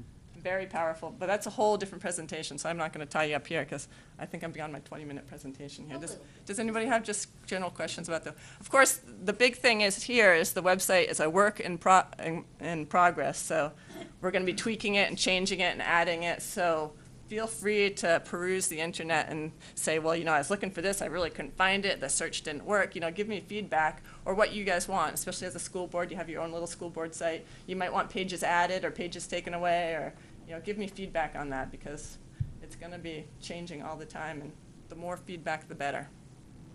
Any Good. last questions? Good job. Thank Oh, you. sorry. I just want to say th- thank you. You can obviously tell you're very passionate about technology. Um, and I like the layout better with the, the menus are just much easier to, when you click on and, and get taken to wherever you're taken, not maybe another page, but another section. It's just, they're a little, they're a little it's nice, so instead of elementary scrolling all the way down the page to find search? something. Oh, Just yeah. quickly search for something. The search is down on the bottom, right off the page here. So what do you want to search for real quick? Yeah, search for me. Search for Jill Berry? Is Forrest Ransman. it E? Yes. Let's see if you show up. You should. This is a test. Oh, I should have, I'm I down. should have No, said that's okay. both I'm down. I think I'm down a little bit. We have a, School board member. Yeah, we have uh, Jill Breton as a math teacher. So the way I typed it is search for either Jill or Barry, but you could click another toggle there that said just that phrase, so I clicked the wrong button. But yes, it worked. Good, I passed that test. Anything else? I just want to throw in, thanks for the presentation, but also, For the time. and there's obviously a ton of work done by you and a team The team working of us. But there's, this website will be fantastic as it, as it is presently, but Oh, I forgot to there's show you. so much opportunity for teacher, teachers to add content and that it will be such a dynamic tool for, you know, saving parents from, um, the crumpled note that was in the bottom of the backpack that was never seen, or, you know, fill in the blank. There's really the use of, um, of paper, I think, is, there's potential for huge savings and a lot of other hidden. Uh, yeah, I started having my kids hand in their labs where they had like the color graphics and stuff because we don't have access to the color printers hardly at all. But if they handed it in electronically, you could see the beautiful, you know, their full creation and work. I forgot to show you this little poll thing. This is kind of a little bit of a joke when they set this up. I just haven't taken it off yet. But you could poll whatever you wanted. You know, free poll, it would only be so accurate because one person could log on and take the poll 25 times, but it might give you some kind of feedback or idea. So if you came up with your own poll and wanted to put it on here, um, you could do that. There's also other things you could do, like listservs. So you could have parents sign into a listserv and get their newsletter electronically, and maybe we could cut down on our mailings. Things like that are all things off in the future down the road. There's all these potentials and possibilities, and we're working towards all that. It's all built, it's all based on the fact that when the information is stored in a database, so it's not static, it's constantly live, and by giving people the ability to update their own information anytime they want, the site is always fresh, it's new. Um, on top of that, with it being a database, the, the engine allows you to add modules like the polls. And there are literally hundreds of modules that eventually, once we learn them, we can start adding them to the site, increasing the, the, I guess, the functionality of it. And did we mention the software is free? For, it runs on Linux, this is open source, runs on Linux. We love that part. All right, I'm gonna let the next, And just one to more. mention the, uh, maybe you want to mention, I hope you two are going to be involved in the technology camp to help teachers to learn how to do this. Yes, I hope so. Yeah. Last week in June, we're going to start teacher training on. I- i- If somebody wants to input something, they have to log in, so we'll have a record of that. Um, yeah, if you want to update something, you actually have to be a registered user. So you have to have logged in and, um, every teacher will have their own page and they can really only update their page. So I have to assign rights to the, them. So like, you know, Art Prue could only update Art Prue's page. He couldn't go in and change Mrs. Keyfaber's page. Okay, So good. it's kind of nice. Gives you a little privacy and control over what you're doing. Of course, I can come in and meddle with anybody's page, so if anything goes wrong with your page and you didn't do it, it was probably me or Deb. All right, any other questions? All right, we'll the next. very much. Thank you. Any more We'll- we'll PowerPoint move that back presentations? front. No, I, no, I'm actually technology. He's doing free. technology, but no PowerPoint. Okay, technology free. I guess you can turn that off. Go to school, I guess.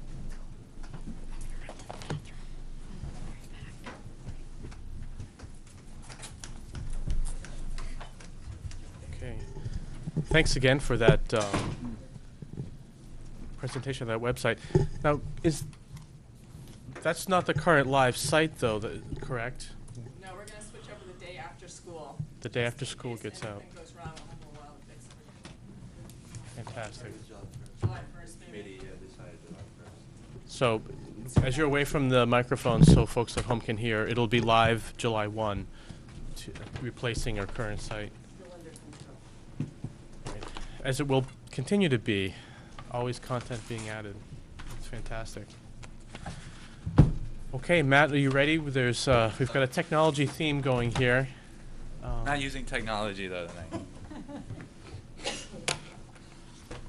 Can I get one? Um, I have one up here.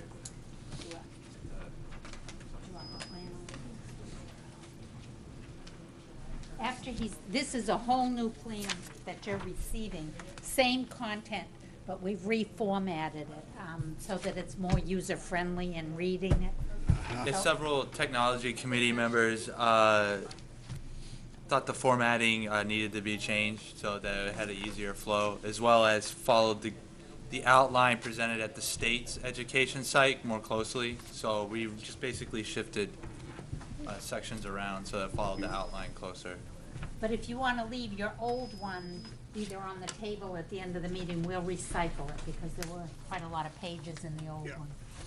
I think I, is this the one? I have this, I think. Where did you get it? Did you I don't know, just take it? Yeah, she's, she, it's all right, and you took my Somebody pen came over and too. handed You it to took me. my pen as well. She's the oh. one. who took yeah, it. pen thief, It's all right. sorry. It's okay, I got another one, I got another one. so. Slowed him down, but you I can't thought being out stop of the classroom, I lost that bad habit, but apparently not. We'll Watch you. Okay, so this is essentially. Put the date on these when we produce Again, this is the same content, it's just been reorganized so it matches the Yeah, there the were state several- format and, and flow, and which For the can give it base, flow. yes, ninety-nine point nine, any changes were grammatical, uh, based off the review. It's, at the same time, you got, guys got this, everyone in the technology committee, which is, I believe, about a dozen people received it as well. Um, and we had a meeting, and the feedback based off of that was really about the formatting and the flow of it. So we've worked on changing that also to, so it follows the state.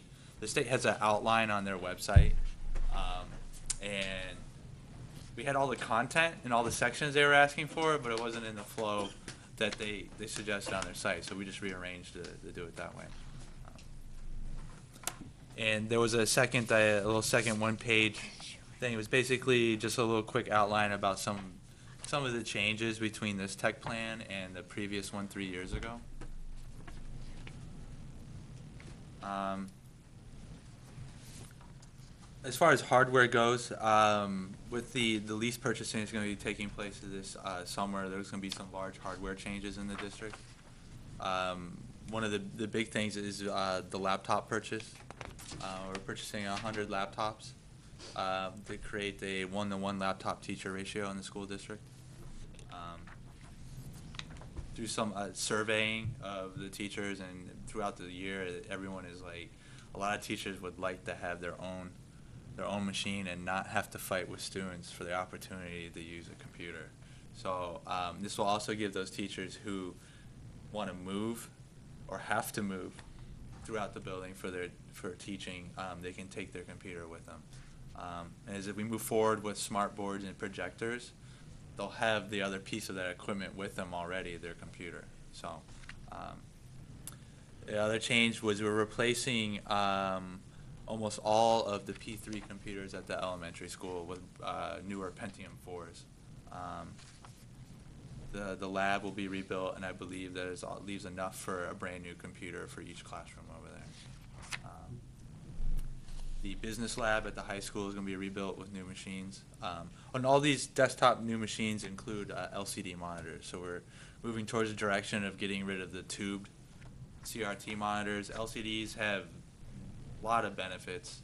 Uh, one, they use um, a third less electricity, they generate two-thirds less heat, um, as well as they're known to be uh, more uh, ergonomic, less eye strain. Um, so we want to move in that direction, uh, energy efficiency, a little bit greener. Um, so the, the business lab at the high school is going to be rebuilt as well. Uh, that I believe is 16 machines. Um, and last year, uh, computer uh, desks um, had been built in the industrial arts classroom, but we didn't have computers to give them. This summer, they're going to be getting computers, so now there'll be a 12-station lab for the industrial arts. Um, they have a CAD printer, they have CAD software, now they have the machines. And we're also going to improve the wireless network at the high school. And that goes hand in hand with going out with laptops, we need better wireless, so. Um,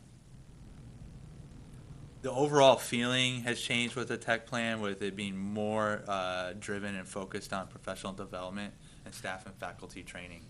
Um, we've been very good and efficient over the last, um, I guess, really seven, six years of getting getting infrastructure built, getting hardware in place, um, and making making it available for access. But then we've kind of kind of stopped there about training people on when you know you have the access, but how do you use the access? How do you open the door, and how do you use all the stuff that we have given you? And that's what really what's the the next focus is for us, is moving in that direction. Um, uh, we just demonstrated one of the next moves. Uh, Kristen demonstrated, and that was the basically the the consolidating of applications and making more and more stuff web accessible, like the website, like the Moodle, um, our student information system, all that type of stuff.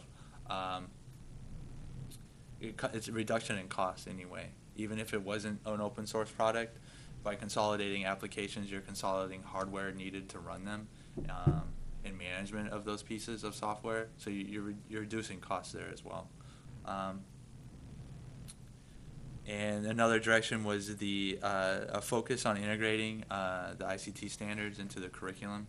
Um, and those were to be, to be demonstrated with the use of e- e-portfolios. Um, the state is really is really big on the portfolio idea, and we want to move ahead with that. And that ties in also to the web access idea with Moodle.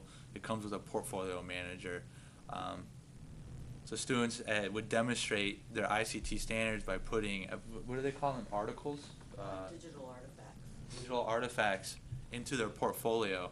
Uh, Moodfolio works kind of almost, um, I don't want to use some of the site names out there that they show, but it's it kind of is a feeling of a social, a social site where the student can create their own uh, digital portfolio where a presentation they made, a PowerPoint presentation, they can add it to their to their portfolio, and if they choose to, they can publish it to the internet. We can make it only internally visible, or if they have, if we have their permission and their parents' permission. We haven't, we haven't really investigated the legal aspects of that yet, but we're going to. But there is the opportunity and a chance if they want to, to publish it to the internet. Um, and also it would have the ability for a student reflection on the assignment they did as well as a teacher reflection on their work. Um, and uh, the other focus is to start moving using uh, web-based applications to support uh, data-driven uh, curriculum decisions. Um, to using our student information system, tech paths. We're getting all this, you know, we're getting all this information now from the testing we're doing, all these results, and now it's time to sit down, really analyze it, and find out how we can um, drive curriculum and teaching with those results. Excuse me, can I ask a quick question? Um, the ICT standards, what does that stand for?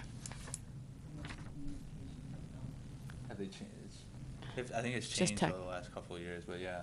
So the, well, I guess my question is, the e-portfolios are not something that the classroom teachers will be maintaining, uh, like a portfolio of the students' work. An e-portfolio is something that, who would be in charge of, main, the student would be in charge of maintaining their own under the guidance of the teacher saying this is would be this is a good item to put into your e-portfolio. Uh, we're gonna the standards actually is a list of skills they have to be able to demonstrate, um, and the teacher will uh, will help guide them in choosing proper assignments to add to their portfolio. Okay. Um, like the PowerPoint uh, presentation assignment could. I'm not sure what skill sets we set out for stuff like that, but you know, um, they can, they know how to use a presenting software. Uh, they had to import digital images into their presentation, so they know that process. Okay. Um, they had to use a word processor to help formulate the text that's in their presentation. So there's different skill sets that we want, and we want to have the assignments that they stick into their portfolio demonstrate that they know that skill set. and is the skill set um, something that, you know, you, you would try to achieve by eight, the end of eighth grade, and then as you get to high school, that determines what courses you would take I with know, I believe computers, or. Um, the parameters are governed by the state. is it by grade level, though, or is it a c- general? By eighth grade, there are certain competencies that we're Okay. hoping to see the children achieve, and if they make those competencies, then they have a certain set of courses in high school that they can choose from. If they don't meet that competency, then they have to take a basic computer information class in high school Okay. in order to meet those. Okay, thank you for explaining that. And the, I believe the e-portfolio is a piece of um, a uh, graduation requirement. Yes, yes. And just so you know, e-portfolio isn't a um, brand name of anything. They've just assigned E to the word portfolio, mean electronic. Um, um, so, and we're going to be using, we've been investigating several different options, but uh, since uh, the Moodle comes with a portion called Mofolio, um, I think we're going to move in the direction with that, using that. Each, each one we looked at had different strengths and weaknesses to it. Um, and it, when it came down to, I think, simplicity of management, um, I think the Mofolio would be the direction to, to take on that. Okay, any questions? Uh, Matt, uh, Yes. on the, on page nine, you're talking about goals, tech, uh, t- the tech goals, goal one, two, three through eight.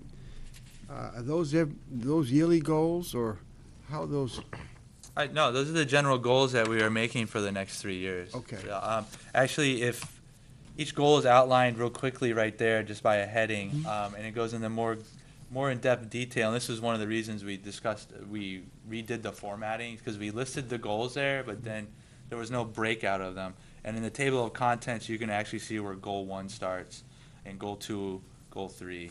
Um, before that wasn't there, and so it made it hard to link. So I mad, so, yeah, in looking at this, it kind of struck me because of the, the skills of the staff. This will be done through the staff development, I guess, also? You'd be Yes. working hand in hand with them? Yeah, it goes in line with our new direction that we want to take the technology here, is to change our focus to not just getting hardware in there and getting this new stuff in there. We want to like get people using it. Um, uh, I want to see the use go through the roof, and Absolutely. you know, we all do. Um, Yep. So that's that's what we want to do. And Matt, you spoke, um, or someone spoke earlier about, um, well, the, uh, some instruction that's going to be done the f- last week of June, is it, for some of this, the web Mhm. piece? Um, Can you speak more to the, some of the details and um, approaches to the staff development side of things? How, how you're approaching that? I, I can be general with it. Pat Valentine is really, um, have a lot more great detail on the development stuff. But some of the things we've discussed, uh, were incorporating, um, maybe even some version of ICT standards for teachers, uh, um, through, uh, new hire orientation. Uh, maybe even something during the interview process to see where incoming teachers are at in their technology skill set. Um, also, uh, we do talk about that the need to increase the amount of professional development amongst staff and faculty means um, it actually an increase in the ability to uh, funding for that professional development, um, and that's mentioned in the plan. Um, but I know that we're looking at uh, uh, look at things as offering before and after school uh, workshops on stuff, anything from like a teacher really wants to use a projector in her laptop in her next class, but has never done it before. Workshops like that, um, as well as having actual scheduled professional development days surrounded that are, I guess, about technology. You know. In talking about skills, the literary skills uh, of the, the machines themselves, is that going to be possible to try to educate the public, especially the parents, with the, um, the software we'll have for them on, on the computers? There's something we can. I'll allow them to Yeah. know what we're using. Um, Well, not only that, but help them out in terms of using the machines, how the kids are using them and so forth, so that the parents can also be involved in the teaching of the usage of the computers. Yeah, a, a lot of that would go into. Um, we've been discussing a lot of this is about about the idea of learning a theory and a concept. Because I learned how to use a word processor that let's say is Microsoft Word. Does that mean that I should be able to carry the same skill set over to using a word processor that's from a different Mhm. vendor? And and that's what we're trying to get to. Yeah. Yes, because we can offer. Uh, word processing applications, but that might not be the same ones used at home. But we Mhm. want to see that's more about learning the theory and the concept behind using a word processor, so that it doesn't really matter when they transfer a different to a different vendor or a different style of one. They kind of still already have the basic feeling and concept of it. And what we can do, um, a lot of this with the ties in the Moodle with the, the and the website with the parent being involved with knowing what's going on in the classroom. Mhm. Um, they'll see what the kid is going to be learning, and they'll know uh, kind of what the usage of technology is in that classroom.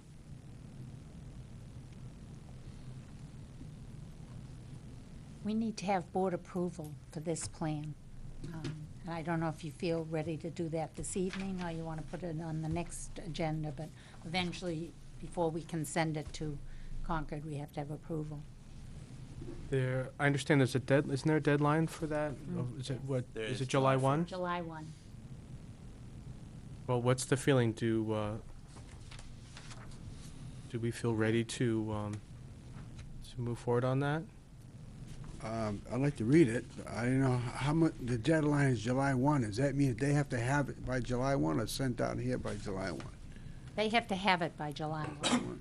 So that would give them how much if we waited to the next meeting? How much time? We would they could have? drive it. We could drive it? If you Uh, posted actually, it. we I- can email it. Yeah. Oh, I thought this That was is the going one they wouldn't take. or I what- believe that uh, is the professional development curriculum one though, they won't Where- take via email. This one they will. I can email to Kathy. Oh, great. Higgins, I- actually. I would Well, think it would be required to be. I would think submitted Technology, right? technol- Yeah. Yeah. Sneaker net or Pa- snail mail. Paper would not be appropriate. Pat Valentine told me that you couldn't this year. Hers, she can't. She has to actually No, hand she deliver said this it. one. She This thought it was one- very bizarre that you Would- couldn't, but I hope Would you she's be upset wrong. with this if we asked you for, for a uh, little time to read it? No, no, no, not at all. Okay. I, I would only suggest, that I agree, time to give it some, you know, in-depth thought, Yeah. with, uh, more than just a couple of days, especially we got a new version tonight. Right. Um, that maybe we just send any questions we have to the superintendent and get answers, as opposed to asking folks to come back.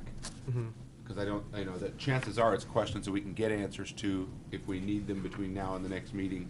And then, you know, have our, either our questions addressed beforehand or that night, you know, in- for- with information from the superintendent, then we can take our vote. Mhm. Which gives us time to, that, that meeting's still in June, so Okay. that seems a logical step. It's such a, a piece of work that, um, that's been done. I don't wanna, in a good way. That I, I think it warrants more than a cursory review it's- uh, No, with, with the no, new I- version I that we have. completely that- agree. In, in uh, respect for, for all the effort that's This, gone this into is the it. second biggie of the year. And the, s- Hmm. the, the Right. staff development was another one. Yeah. Okay. Uh, any, any other, any other questions? I, I guess not. Thank you. For Thanks so work much on for this. coming and Thank you very much, Matt. Um, I just want, before I, I, I got down, I wanted to just say, uh, thank you to, uh, the members who helped me work on this, uh, Pat Valentine, uh, Deb Boatright, um, Gene Burke, James Tremblay, uh, Lane Holt, and definitely a special thanks to, uh, Deb Boatright for helping me with the reformatting, uh, of the final version. So, Um, and also, this is Anders Esley's last night, uh, filming for us, Good. so. Thank you, Anders. Good job, Matt. Thanks. Thank you.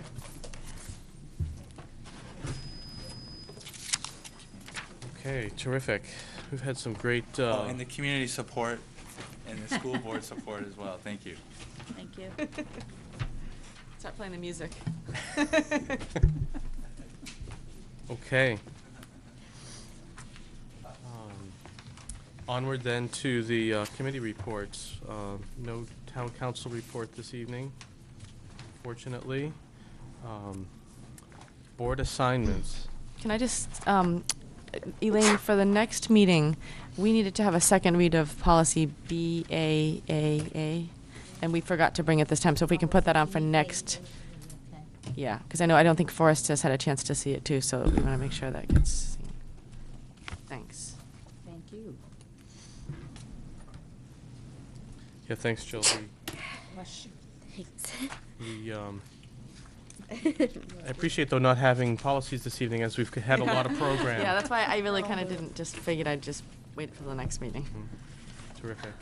Okay, um, for committee ass- assignments, um, I've had some conversations, uh, with folks uh, through the, the last few days.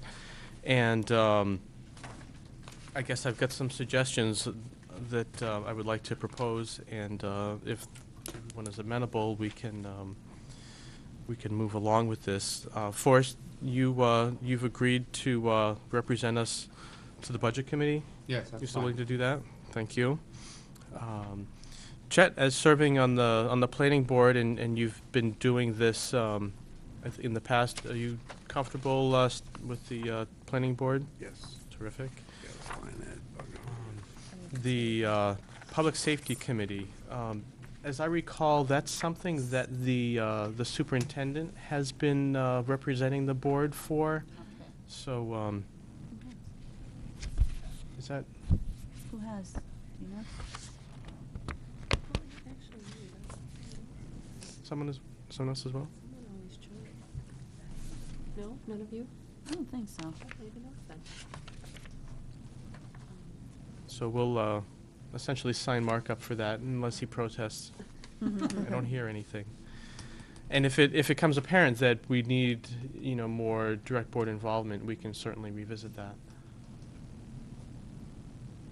Um, uh, The rep to the uh, Seacoast Learning Collaborative, um, this was one that uh, Paul Robinson served on.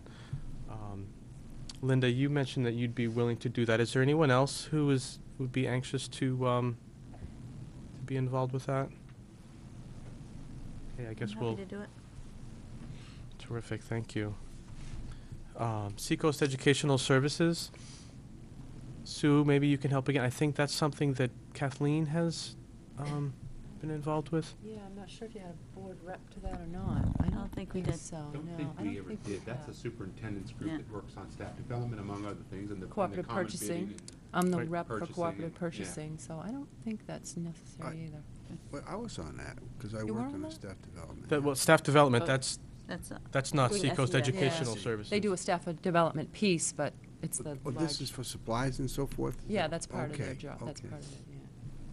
SES every other year does do a big Yeah. one-day staff development thing, but it's not their prime focus by any means. Um, Seacoast School of Technology, Chet, you've had a little hiatus from that, but I know that's one of the passions of yours. Is that something you'd be interested? Does anybody else want it? I don't mind continuing. Yeah. I mean, it's fine, but if you like it, you're welcome to it. Well, if you're gonna be on the, um, if you're gonna be on the budget committee, you're gonna have your hands full. Maybe in more All right, ways than I'll- one. I- I- I'll, I'll take that. Okay, thank you. District Staff Development Committee Representative, um, Chet, you, Yeah. you were involved in that I'll do process. that again. Do you, the, um, a lot of that work is essentially done for, Yep. um, is a It- bit of it- You time. have to meet probably monthly still, but I'll do it. Okay, you're anxious to do that? Because I was kind of interested in that too, but I don't want to take it away because Oh, I know no, if you worked want on it, go ahead. I just would like to see what's going on. Go with ahead. Staff, because I know Yeah. you learned a lot from it. Yeah, go ahead, Jill. Okay. Thanks, Jill. Uh, Delegate to the New Hampshire School Board Association. Um, I'm interested in doing that, but if there's anyone else who actually wants to, uh, to join me, I, I know they've got some pretty um, dynamic meetings that they do. But uh, I'm, I'm interested in becoming more involved with that. That's something that we've been a little bit remiss with in the last year. Um, Where is it? Legislative Representative Forrest, is that something that you might uh, find useful or interesting? Works I'm- all I. I don't, I don't, know, can anyone speak to what, what that involves? Five-year plan that she'll give you. Recall that. What they'll do is they'll Who's start been on that before? Was it Chris? setting up the- And I think nobody since him. Probably not. If it's a job nobody knows how to do, I'll take it. I'm sure you'll do just fine. Have the teachers' birthdays. Obvious- those, preview setting all this up. You'll be our, our our designated lobbyist, I guess. um. Um, School board rep t- to uh, liaison to the town council. That, that's something I think is, might work best as a, a shared role. I see um, Mark LaRoche being, you know, in large part a um, spokesperson for us, but whether it's a, um, something that involves, uh, you know, maybe a, like a, that involves a town planning piece, then maybe Chet, you would be, you would go with Mark to do that. So I'm kind of thinking maybe keeping that one kind of fluid. Yep. And, um, and and have the, you know, the most appropriate people, um, be involved in that. Um, Jill, are you, uh, willing to, uh, serve on the bus committee? Yeah, sure. Uh, I understand it, it's an as-needed. That's on an as-needed Okay. basis, and I think, Linda, you s- met the last, and then the last bus committee. Several years ago, I had, yeah. I So- needed- Okay. The last time it was needed? Yeah, the last time, many, many years ago. And it involved probably a ten-minute, uh, discussion, so, yeah, that's not a huge burden, I don't think. Uh, we don't have any negotiations, uh, upcoming in the next year, so, um, there's no need there, thankfully. Uh, school board rep to the Health Benefits Study Committee. Um, Linda, that's something that y- I think you have an area of expertise in, and, um, but if there's anyone, Is that an active We- committee? Yeah, it's an- what, It once a should year be. usually? Yeah, Once we're a year? supposed to be once a year meeting. But it um, might- It's a once a year. But it might be more active next year because generally going out to bid every year isn't recommended, so we may look at more of that. So it might be more active, but not a lot. Mm, Three or four meetings. is that something you're interested in being involved in? No. You just, okay. Uh, you, c- I, I'll be happy to do that again. Okay, thank you. Um, School board rep to the District facilities Study Committee. I've been kind of looking at that and thinking, well, we don't really have one right now. There is no, yeah, there is no such committee. So I think until we form a committee, it, it's, um, it's, we can't charge, uh, members to it. So, uh, we'll revisit that, um, when we do, and I, and I really look forward to doing that, um, uh, I, I hope in July, but, um, we'll see where, where we land, um, on that. Uh, school board rep to school to career. Um, that's one that uh, I've been involved with and am happy to continue with, but if if there's anyone else who's looking forward to um, learning more about what happens there. It's all yours. Okay. Thanks. Uh, No need for a high school reuse committee. Um, s- That's n- awfully far in, over our horizon at this point. Um, Cliff, there's no elementary school master plan committee. I did check into that. Okay. So there, there, Mr. Thompson was not aware of that and that there was a committee of that sort, so. Okay.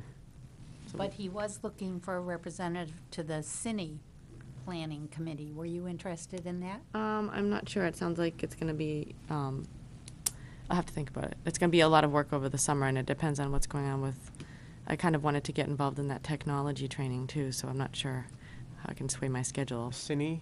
D- School in need of improvement. Okay. Yeah. He was excited about the fact that he could combine a parent and a school board member in one person. Mhm. So mm, He could probably get another parent. It doesn't necessarily have to be a school board member. I, I can probably give him a few names if I can't do it. Okay. Well, I've written you in here, so unless you find a suitable replacement um, as a parent.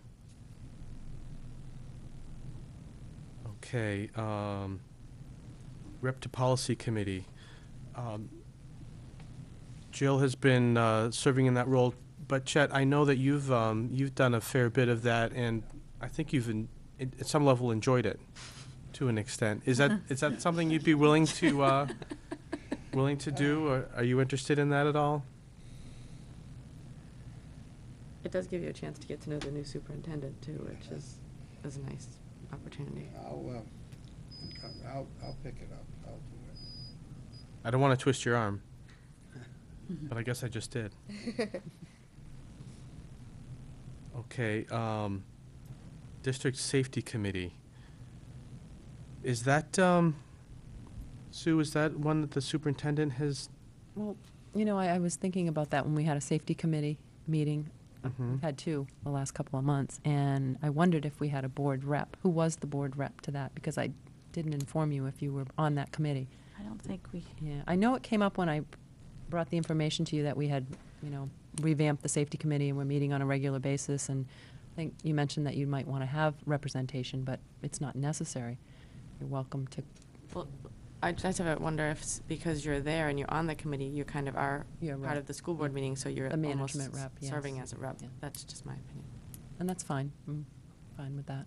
Mhm. And I think in some ways, it's supposed to be a committee where we meet, sort of have equal representation from management and employees, and it's sort of a opportunity for us to talk about some things that, you know, they might not be comfortable talking about with someone else there, just because, you know, they're issues that they feel are important and they like to bring them forward in a different setting, so, you know, and I'm just talking about minor things, just minor things that, you know, Reviewing accident reports. accident and that- reports and conditions that they may feel are not necessarily, you know, the way they should be as far as safety is Mhm. concerned, but, um, and it's, and it's been very productive, and we've, a lot of thing, good things have come from it, so it's, um, and, and again, it's required by the state, so, um, it's been very and positive. I know as things have come up, you've kept us well informed on them, so I'm not feeling a need to, uh, to load up the, uh, okay, so Sue, you're it, I guess On then. it, okay. Um, School Board Rep to uh, Cable TV Committee. I think that was the superintendent. no. Linda's been no, on that's that me. too. I was, I've I been think doing they both it. were, right? Oh, no, maybe not. They, she was on the The contract contract, Right. committee. Right. Um, I, I'm happy to continue with this unless someone else would like to. Well, I'm not seeing Linda's name very much, so no, I'm just kidding. I'm only kidding, Linda. I know you did the budget committee last year too, and you also picked up some of mine when I first came on. Okay, and then I've got some, uh, as we've crossed some out, we've got s- a couple write-in uh, uh, committees. I- I'm not sure if the copy on, received in the packet today had them printed on it or not. Um, The, uh, the Audit Committee, which is still not quite yet formed. No, I actually just got word that the final bound audit is ready, so I'll be start, setting a meeting soon, so looking for membership. And actually, we'll be putting that on Channel 13 to get members of the community that are A willing to slide join. advertising it. Yes, advertising that. Okay. Well, how often would the audit committee meet? Um, well, I probably not more than two or three times a year. Um, And one of the things we might do is bring the auditor, our actual auditor that performs the audit, and just go over and allow people to ask questions, so. It's new, so, you know, I'm, I'm gonna try to follow the same model that the town's following too. Talked with Dawn, so. You know, we might actually meet with the town's committee at some time too, just so we can collaborate in the way we do things, so. Jill, is that something you, that uh, you'd be willing to do? Yeah, I think we had talked about that. That would, that would be fine. Great, thank you. Uh, Working with Sue. Okay, um, I think that's, I think that's it then. Thank you, uh, for, um, volunteering. Get more of your time. Um, okay, professional development plan vote. Um, Pat Valentine came to the last meeting and re- reviewed that with you and gave you a copy of the plan. And although the state doesn't require the board to accept it, we thought it would be nice to have a formal motion on accepting the plan, if the board is willing to do that. Okay. Um, Does anyone have any thoughts on that? Want a motion? Yes. I'll make a motion to accept the Newmarket Staff Development uh, Program. It's a five-year program. Is there a second? With that, Thanks, Linda. Any discussion? Okay. Uh, All those in favor of the motion signify by saying aye. Aye. Opposed? Okay. Correspondence. In the packet that I put out tonight, um, the second page, there is a memo from the Oyster River School District. We had contacted them to see if they would be interested in tuitioning our students to their facility. And um, the superintendent is asking if we would schedule a meeting to talk about it. I wasn't sure if, given the survey, if you wanted to go forward with that, or... He's given us Monday evening as a time, but enough flexibility to set another time if we couldn't make it, and he's asking for one or two board members to attend. I don't see any problem with, uh, with dialogue, certainly. um, and- I'd be very curious to hear what they, what their thoughts were. So if it's uh, the feeling of the group that, um, that we would like to pursue that conversation, I'd be, I'd be more than happy to be involved in it. I agree. I don't think it hurts to, to talk to them and see what they have Never hurts to in hear. mind. and- Absolutely. I would like to attend, but um, my husband is on a sales conference on Monday, Tuesday, and Wednesday. So unless I can work something out, um, I don't know if I'll be able to go, although I would really like to see what they have to say. Uh, Forrest, I believe there's a budget committee meeting s- f- uh, that night, Monday night. Is it? Interesting. I'll forward you, an- uh, I got an The- email the- today. can I'll you for- send me the Yeah, agenda did I, meeting? I sent, you- did I send you? Oh, June 9th, that's right, is that June Yeah, 9th? I'll, I'll forward you. recall. Thank you. I'll attend with, Oh, with good. Because I, because I also have a meeting at Okay. table. So we'll meet them at seven-thirty at their SAU office? Okay, do you know where that is? No, but I'll Google it. We'll it. figure that out. Tell you. I can tell you. Right. You know that town pretty I good. do. Thanks, Sue. Thank you. Um, Yeah, I'll be curious, conversation. Also, under communication, I just wanted to let you know that I did receive a request from a family. They're moving from the, moving out of town, but they requested that we allow them to leave their students in school for the last three weeks of school. And I took the liberty of saying yes. Seems like it's such a short time to accommodate and didn't make much sense to disrupt the students, so just wanted to let you know that. Yeah, thanks for doing that. When you, you mentioned that, th- those sort of requests always seem to come up this time of year. Right. And um, it's in the best interest of the kids, and that's what, we're here for, so. In the, in the vein of communication, should we deal with this or can we? Um, I think, I think this is an appropriate time.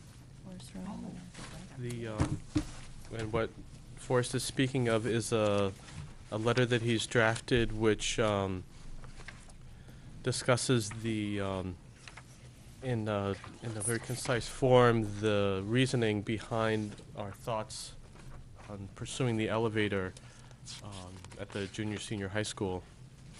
Forrest, would you like to, um, speak to that? Sure, everybody has a copy. Just assume, uh, just as soon read it as, uh, everybody's all right with that. Um, my, our, our, um, goal with this was to, uh, both put this on our website and provide it to our local newspapers for publishing through the editorial pages, and it's written with that in mind. Uh, residents of Newmarket, on May 28th, the school board held a meeting to discuss the recently approved warrant for the installation of an elevator at Newmarket Junior Senior High School. The meeting was held at the school. For this reason, it could not be televised on Channel 13.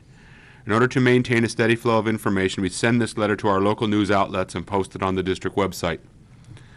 Based on several factors, the school board has decided to halt the elevator project at this time. We believe that it is important to communicate both this decision and the reasoning behind it. The decision was made after a presentation by the architect and careful consideration of the current situation. The elevator project was halted for three specific reasons. Number one, the construction bids were all for an amount greater than the warrant article was approved for. The board was not willing to spend more money than the voters have approved for the project. Two, the design and placement of the elevator in the building needed to change based on updated state requirements. The new placement would have called for the use of, of a, a part of two classrooms to allow for access to the elevator on each floor. This would result in the reduction of classroom space in two classrooms that already failed to meet state minimums for size.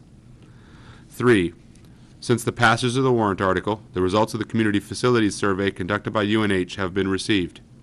The results indicate that doing something with our current building is an option preferred by a significant portion of the community. If a renovation plan is approved by voters, the board does not wish for the location of the elevator to limit design options or, in the worst-case scenario, create a situation where the elevator has to be demolished to allow for the best construction solution, thus wasting a recent investment. While the current lift situation is far from perfect and in some cases completely unacceptable, the board has decided to enter into a service agreement for the next year to keep it in operation and allow time for further consideration of a possible renovation of the building and exploration of if, of if waivers to accomplish this can be obtained. And I would, I'm going to wordsmith that last line. It's a little odd. It's, it's actually correct, but it just reads odd. Okay, um, so I guess this is, um, this is a proposed letter that we would submit to the newspaper and, and as well post, um, as we can on our own. Um, But as it's, it's speaking for the, from the board standpoint, I think we should have a motion to, um, to, uh, to move forward with it so that it's, it's clearly, um, not Forrest's, uh, voice, but, uh, but all of ours. I'll make a motion to um, approve this letter to the editor for publishing uh, by the entire school board. Does that sound all right? Sure. I'll second that. Thank you. Um, Any discussion? Forrest, you have the- the um, uh, preposition change or just? I just take out if. Okay. Okay. um, Thank you for uh, putting that together so uh, succinctly. That uh, really, I think, I think speaks to the whole conversation. Um, Any further comments? Okay, all those in favor signify by saying aye. Aye. Aye. Aye. Opposed? Thank you. I'll forward this to both newspapers, uh, over the board's, over the board's signature within the next twenty-four to forty-eight hours. Great, thank you. Okay. Any other uh, correspondence before we move to, uh, to other matters?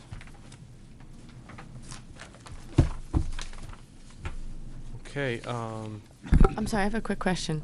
Um, and I just was thinking of it, um, because we were talking about how you were on the budget committee and there was a meeting coming up. How do we make sure that when we've been assigned to these new committees, that we're on the right list, email list or whatever, to make sure that we know when the next meetings are or whatever? How does that happen? That's a great question. That's an excellent. I wrote mine down. I mean, do I'm we gonna wait for contact to tell someone? Well, it, it strikes me that we could have something on the Joomla website Mhm. for, you know, to try to integrate some of those dates in. Um, But uh, in the meantime, I'm- I'm I mean, sure I- we must have a list of contacts that we could, for the ones that are external committees, Mhm. that we could send a notice um, of the change in membership. Yeah. We'll, we'll look some on the contact computer. information and, Yeah. like, And- And in the meantime, those of us who were on a committee, who are now um, passing that on to someone else, you know, like I will tomorrow, I'll forward you the emails that I just got this week about the budget committee. Mhm. okay. Sue, would you like to um, speak to the, uh, the benefits piece? Um, we have a couple of resignations, and one resignation and some Is- nominations. Is my uh, agenda, Might be in a New agenda. I'm wor- working off the old agenda, okay, sorry. Um, Okay, take it with the, uh, We have a personnel resignation changes. from Allison Richards, who is a speech and language pathologist at the high school. Um, She's resigning for both personal and professional reasons. She prefers to work at the elementary level, and she has a position that she's applied for that's going to allow her to do that. So, but she did emphasize in her resignation letter that she's appreciated all of the support she's received in the Newmarket School District, and that she's learned a great deal, so we have her resignation. that's too bad. Mm. The, that's a particularly difficult position to fill, and I- one that we've had to contract out for in the past, is that because, because of the challenge? Um, so- talking with one candidate right now, but she does have an interview, second interview with a private organization. Uh, But she said of all the schools that she's talked with, she prefers our school district, so we're hoping that works out. And we did receive an application today that we'll follow up on, so we have at least two possible candidates. Good. Okay, so, I'll make a motion to accept the resignation of Allison Richards. is there a second? I'll second that. Discussion? Uh, All those in favor signify by saying aye. Aye. Aye. Opposed? Okay. Under nominations, um, you should have in the packet that I put at your place tonight, the classified employees nominations with, um, on the second page, three names struck off the list. Uh, And these are employees who, by virtue of their position, do not require certification. And we've, um, we're bringing them forward for renomination. Okay. I'll- I'll make a motion to accept the nominations of all classified employees for 2008, 2009, as presented. Thanks, Linda. Is there a second? I'll second that. Discussion? I, I have a question. Um, uh, The, many of these uh, are, are aides that uh, serve in various capacities for classrooms or individual students. Can you briefly speak to um, the difference among an individual aide or personal care aide or a ESOL aide or a teacher aide? Uh, The personal care aide is uh, an aide who is generally tied to an individual student who may require some um, hygiene, hygiene maintenance, um, special support getting dressed, uh, lifting, so it's a more um, physical uh, relationship between the aide and the student. The individual aide, although it says individual aide, is one who works with three or four students, generally identified students, um, within a classroom and provides support. The teacher aide, and I learned today that these exist only, mostly at the high school level, is in a classroom as a support for the classroom teacher. Okay. Those are the three categories of aides that we actually have. So the, the individual, individual aid is providing some classroom support for, th- from an academic standpoint? Yes, for small groups of students, Okay, that generally identified students. generally, Oh, I, I- I believe always identified students in Oh, our always case. identified. And they are, they're, so they're on IEPs? they're on IEPs, according to The their IEP. teacher aide is a teacher assistant that you're talking about? Okay. Yes. And again, those, those positions are for students that hi- have IEPs, but they may be in a classroom setting where they don't need, you know, individual, but it's as a group. Right. Because all of our aides do provide support only for um, students with IEPs. We don't just have general aides. And to so, speak. I just, I'm just trying to make the point that it's, fundamentally, we're legally bound to provide the Exactly. services that are identified for the individual student's learning needs. Yes, So, exactly. um, these aren't just extra folks in the classroom. They've no, they are been, not. spe- they've got a specific uh, educational plan that they're a Following. piece of. Mhm. Thank you. Correct. Good point, Claire. Okay, uh, any other discussion or questions? All those in favor of the motion signify by saying aye. Aye. Aye. Opposed? Thanks. Okay, and then we've got some, The next nomination is Brian Loveleen, who is filling the new, uh, newly budgeted position of desk, desktop support technician. He actually uh, is in a program right now at New Hampshire Community Tech College and worked here in the district as an intern prior to applying for this position. Um, And he comes highly recommended by Matt and James because he worked with them. And the teachers also, some teachers were very excited to hear he was coming back, so we're glad to get him. I'll make a motion to accept the nomination of Ryan Loveleen as the desktop support technician. thanks Linda, is there a second? I'll second it. Thanks, Chet. Discussion or questions? Uh, On the New Hampshire uh, certif- certificate, he doesn't need one on this, Elaine? Is that, No, this position doesn't require certification. is there something that requires him from doing, big- uh, getting a better background and stuff like that, or? Well, he is presently in the program at New Hampshire Community, Community Technical College for the, the exact activities that he will be doing for us. But he's also, he also has a few certifications, as you see listed here, or at least one in the technician area. And his, could you just briefly just remind people of what the desktop support person He will be the does? one that responds to teachers when their hardware isn't working correctly, and he's also, sometimes it's not a hardware problem, it could be the way the teacher is approaching the software. He's going to provide that kind of support, too. That's what I was wondering. Okay, thank you. So it's, it's Plus, help he'll do a desk. lot of maintenance of computers during the summer, Great. helping James and um, Matt to install the new computers, all those kinds of activities. Great. It's nice to have a consistent person doing that, too. Yes. Okay, uh, all those in favor of the uh, motion to nominate signify by saying aye. Aye. Opposed? Okay, The next nomination is David Williams for the position of Assistant Principal at Newmarket Junior Senior High School. We actually had 40 applicants for this position, which was really great um, diversity of people to choose from.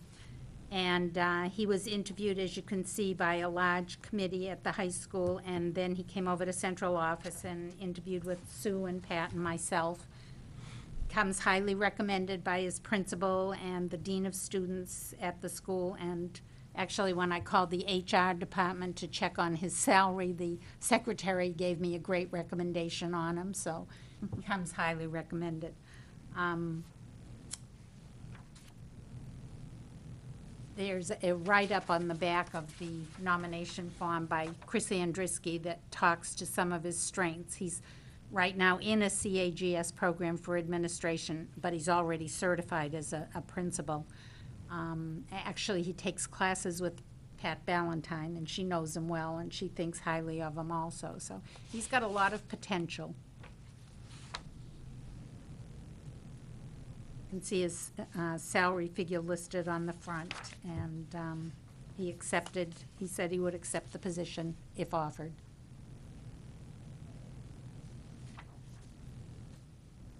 I'll make a motion to accept the nomination of David Williams as assistant principal at the Newmarket Junior Senior High School. Where is he coming from? Dover, Dover Middle School. Oh, okay.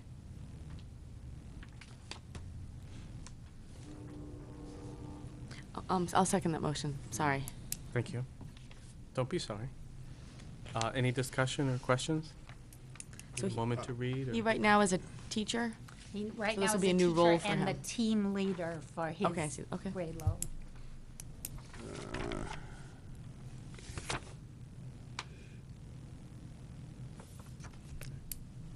Okay, uh, hearing no questions, all those in favor of the nomination uh, signify by saying aye. Aye. Aye. Opposed? Thank you. Okay, I did also uh, distribute the enrollment report where there is nothing new or different or exciting to report.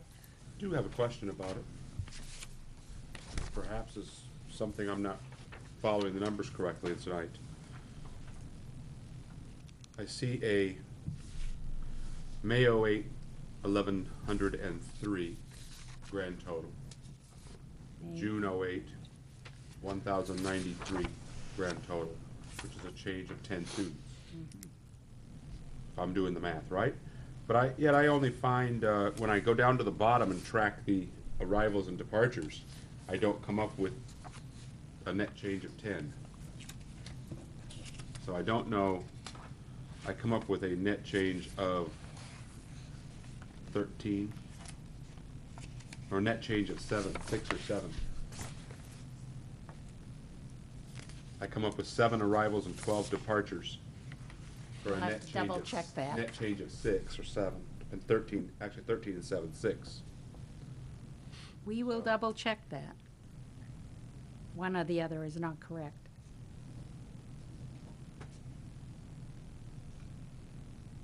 And the, the problem may be in there's no code in the grade ten new, and then there's number three there. Mm-hmm. I don't know if that's a stray three or not, so, Well, thanks, we will check on that. is that the only one that's, not- that's new? Cliff? yes, I think so.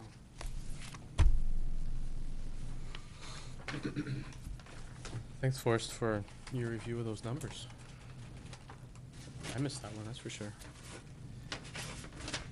Okay, um,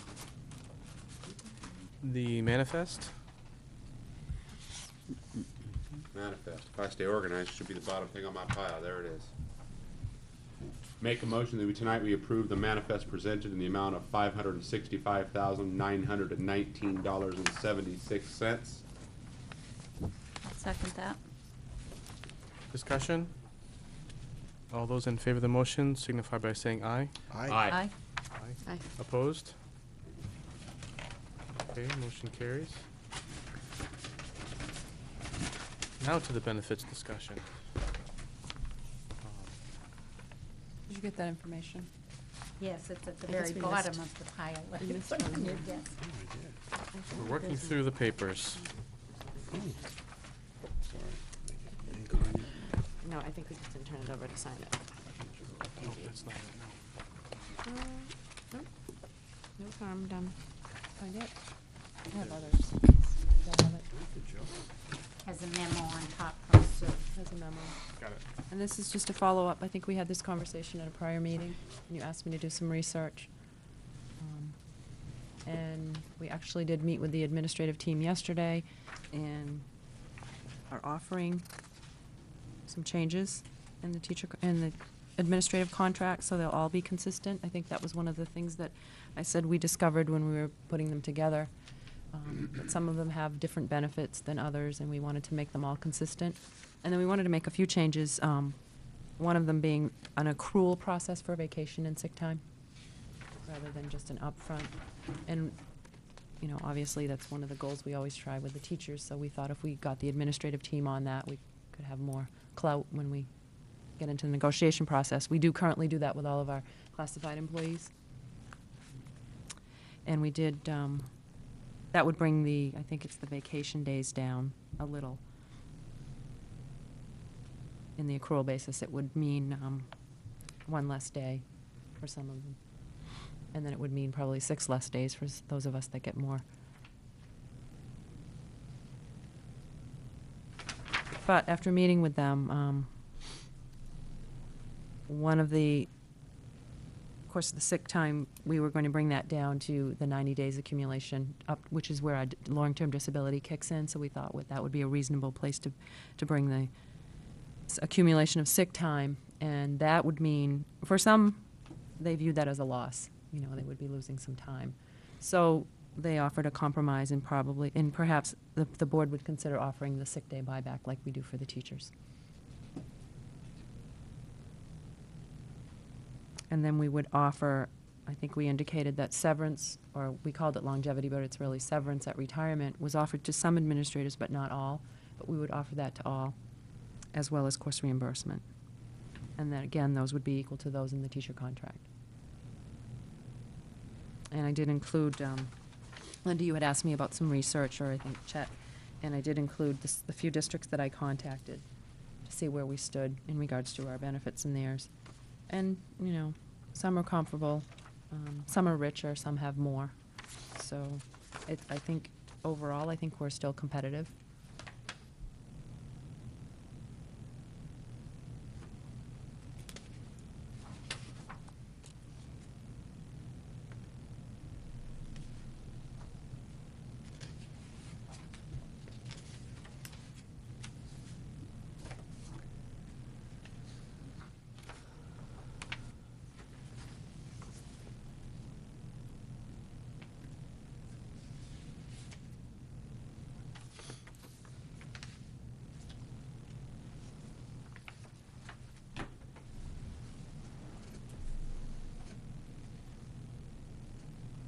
And as we're looking towards um, resolving this for for the next year's contracts, you're you're Right. hoping we can resolve this? resolve this. And, and I will say that, um, you know, in reviewing contracts and looking at contracts, there, we need to do a lot of cleaning up. And one of my goals is to work on our current employee handbook, which needs a lot of revisions and changes. And I think that that would be a great project to work with Mark on when he arrives, because I think he'd be a great resource for that, to help with that. Um, So, you know, this may not be all, we may be moving forward with some other changes next year, but at this time, this would bring all of our administrators on the same contract with the same provisions. So that would be one step for some consistency among everyone. And I think you did mention this, but where it says severance, it really refers to the longevity. Longevity that we talked about, but that's how it is That would be worded in the, Second paragraph from the bottom. with the idea that the severance is basically a retirement benefit when one retires.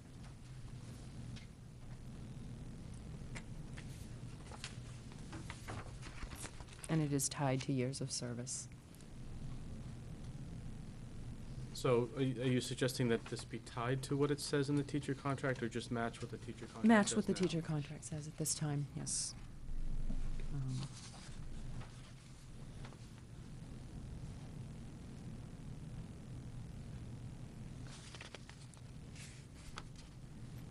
And I, and I did include a sheet that would outline all of the benefits for all of our administrators.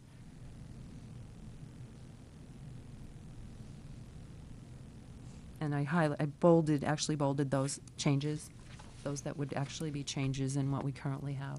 For some, although some do have the severance, and some do have the education, but not all. Not severance, but longevity. Excuse me, it's longevity, right. But it's called severance in the teacher contract. That's why I I have it it. with me. Let me-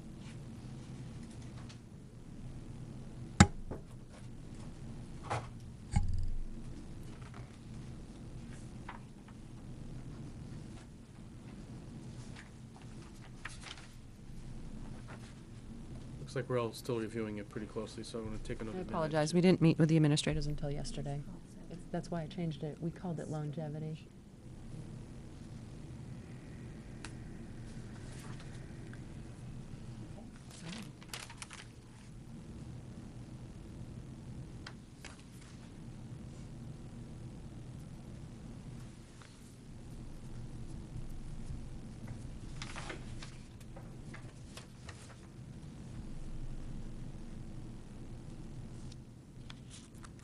And I do have actual copies of the information from the other districts, if anyone's interested, where I pulled the information on the spreadsheet from.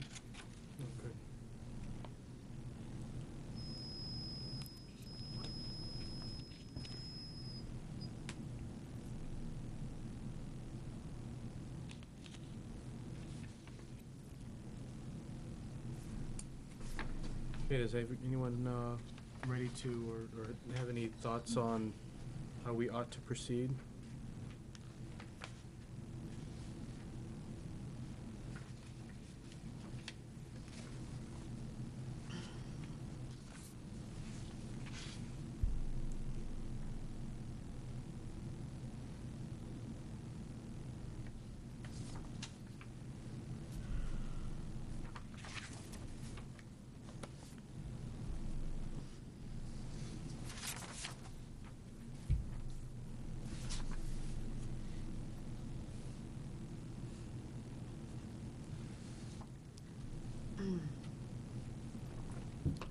How um, would we know what the, what the financial implication of these changes would be as far as payouts Pay- this year, you know what I mean?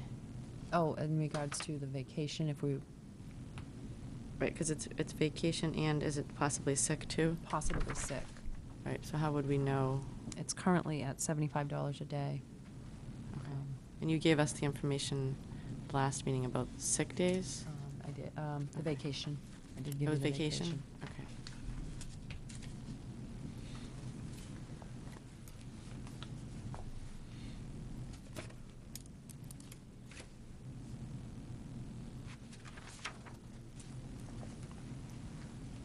And remind us again, if, um, if someone leaves the districts, the district, what happens to vacation and sick time? Currently, currently with vacation time, since we have no policy and no provisions, anything that they have on the books, which is unlimited, is paid out.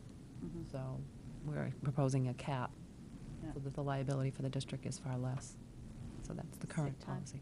There is no, there is no provision for that. Okay, And I don't think we proposed anything for the, yeah, okay. There's that spreadsheet, if that helps to Oh, figure the okay, financial.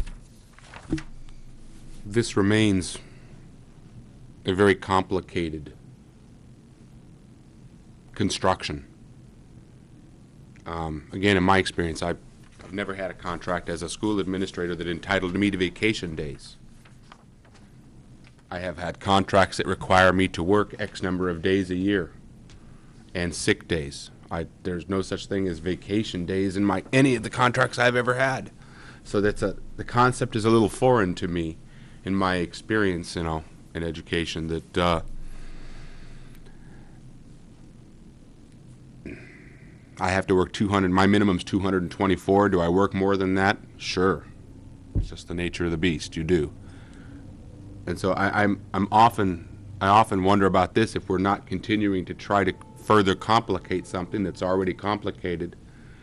Another potential way to go about this is to, as, you know, we could look at grandfathering what exists and have new contracts and we can establish them in a new way if we think that's appropriate. Um, You know, we have two, we have a new high school principal and new high school, uh, middle high school assistant principal.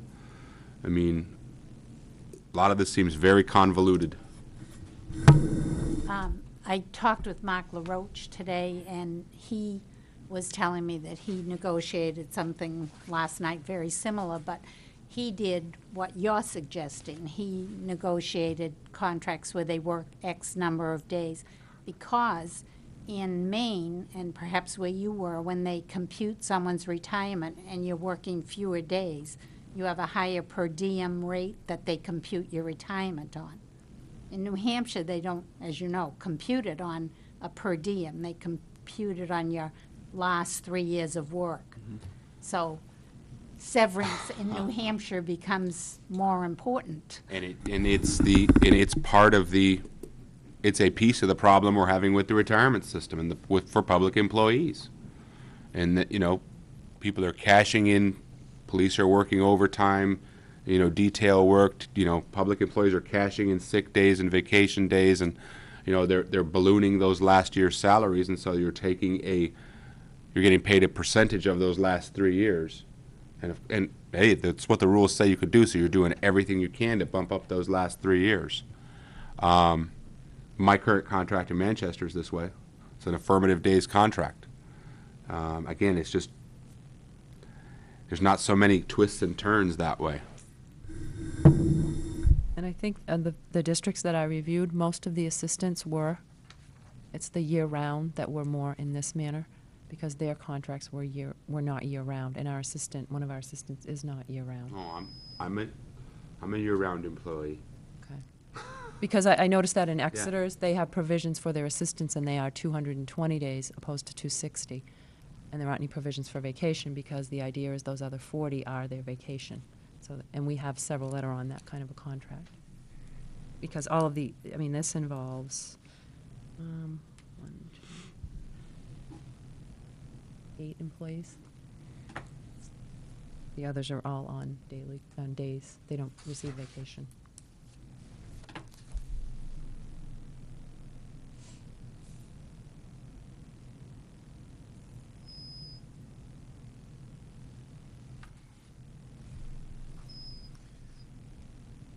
So what, what do we need to accomplish with this tonight? Is this something that has to be, something has to be resolved tonight? We're trying to get a consistent contract If we because don't- we're doing all right. the. If we don't resolve it, we'll just redo the contracts as they currently are. And our vacation will continue to accrue. So what problems would currently exist would be exacerbated by one Mhm. more years. Right, right, And more time that's given. So the things that are bolded are the things that are changing.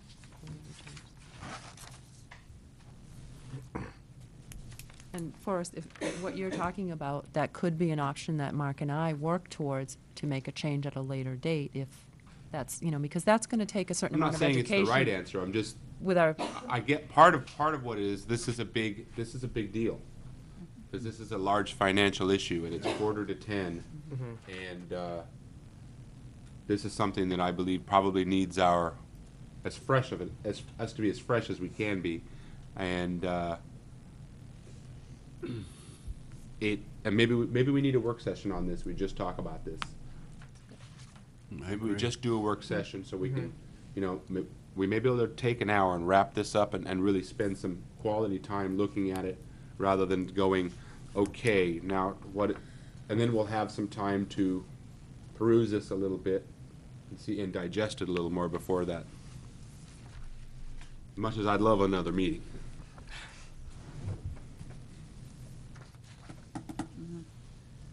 I think you're uh, onto something there.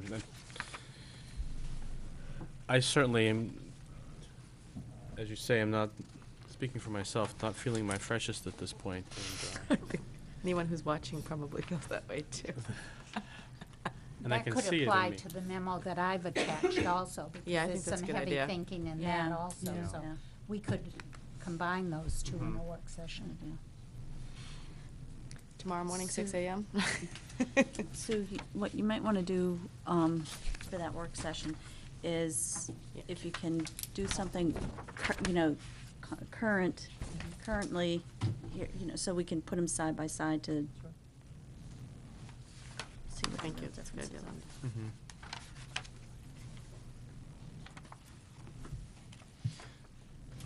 And then I have a que- uh, question, um, it's far as the buying back the days or the payout or whatever the terminology is, is that something that comes out, that we make a decision? I guess I'll wait till we just, I just, where does the money come from to do that? We budget for it. We do budget for it. With the teacher contract, we do. So I guess, I wonder if maybe we can um, Move to the calendar. move to the start working on it. calendar and try to um, squeeze something in.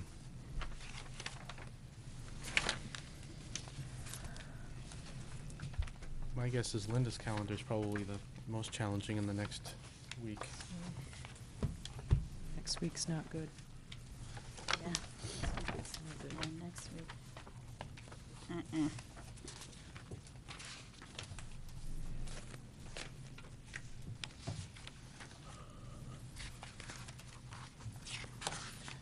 Can't even find my calendar. I don't think, it- I think I know. Um, it was in your, did we The definitely original agenda? I think it's on the original. agenda. Ah, oh, thanks. isn't it?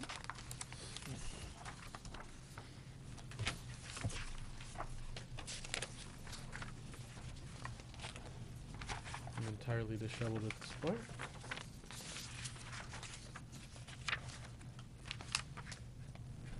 Well, I'm gonna work from my old one.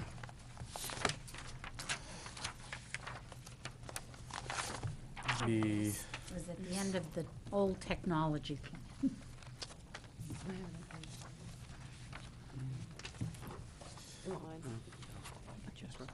um, oh, there it is.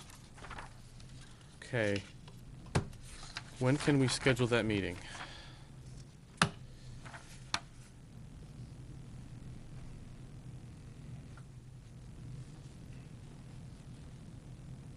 Thursday and Friday are kind of out for me next week.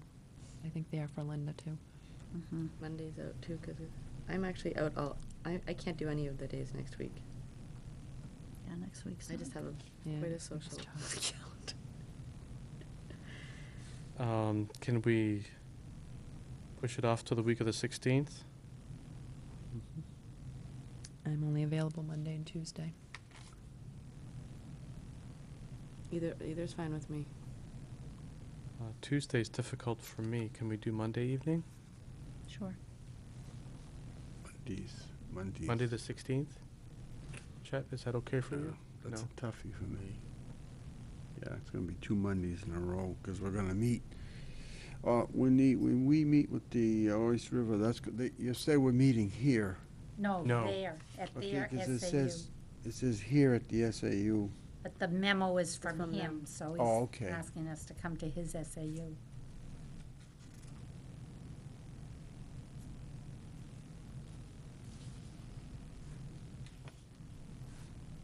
Did, did I hear that Wednesdays, that Wednesday doesn't work? Oh, Sue said only Monday and Oh, Tuesday. Right, I'll thank be you. out of town doing orientation, college. Thursday? She can't do I'll- Wednesday, Wednesday, Thursday, or Thursday, She's Friday. going to college orientation. And Cliff said he had a problem with Tuesday. You have a problem with Monday.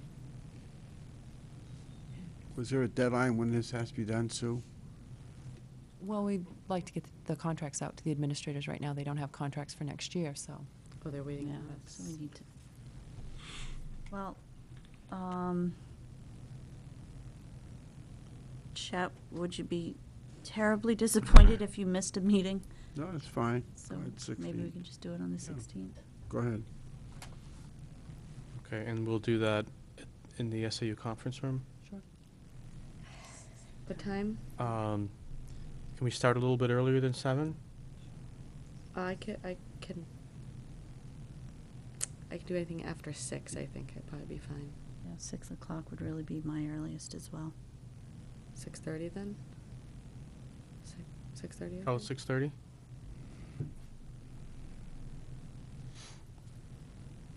Great. And who knows, we could be done in time for Chet's seven o'clock meeting. I mean, Oh, he has a seven that You know. night.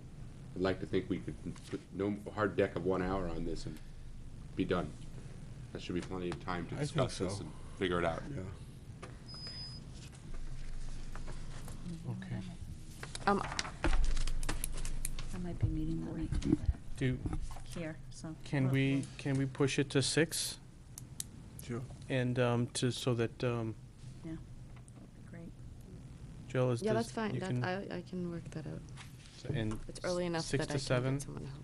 And I guess I would encourage everyone to, if you've got uh, other information that you, you'd like to have ready to go, to get a hold of Sue, and maybe she can disseminate that to all beforehand, so we can maybe hit the Look ground at it, running. Yeah. Okay. Great. Are you going over the calendar? Because there's something Yes. that I don't think really impacts, I don't know if anyone's watching, but I guess there's some kind of a Sure. kindergarten show in June, which is just one of the kindergarten classes, AM kindergarten show, PM kindergarten show. But they were different days on the school calendar. They were the 11th and 12th, not the 12th and 13th. Do you have those on there at all? Yes. Yes. Okay. So I guess it's Wednesday and Thursday, not Thursday and Friday, because field day is Friday, and Okay. I think most of the people have that anyway, so. And uh, Knockwood, the last day of school is on the twentieth? Hopefully we can erase the question mark. I was just gonna say, we can get rid of those now? The question So, marks can go, we're we're sure? safe. If you take them away, and who knows what will happen. I'm leaving mine. Um, Elaine, do you know what, uh, on the 18th, they said there's a kindergarten night? Do you know what that is? No. Okay, I'll, I'll try to find out.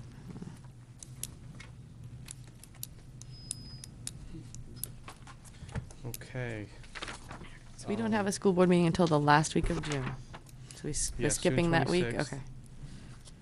And then, Tell Kristen to change the date on that on the website. I noticed she had. Yeah, I thought that I saw that, Ah. okay.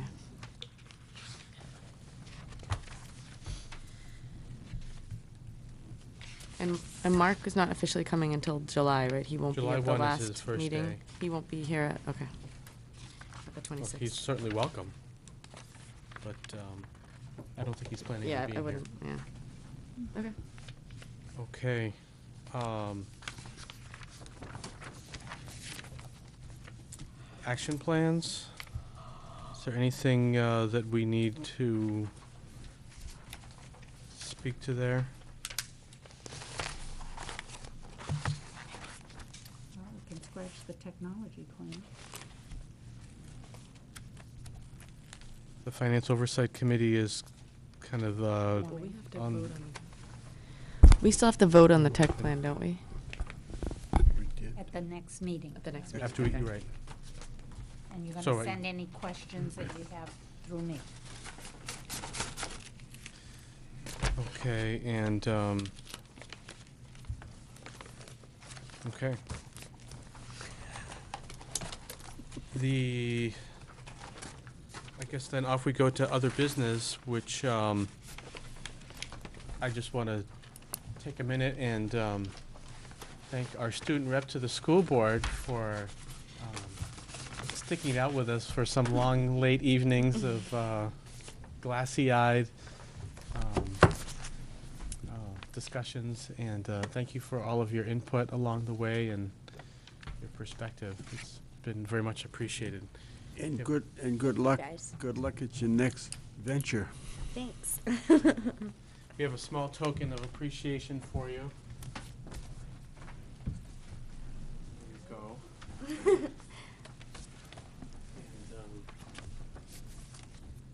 And, um, Many thanks.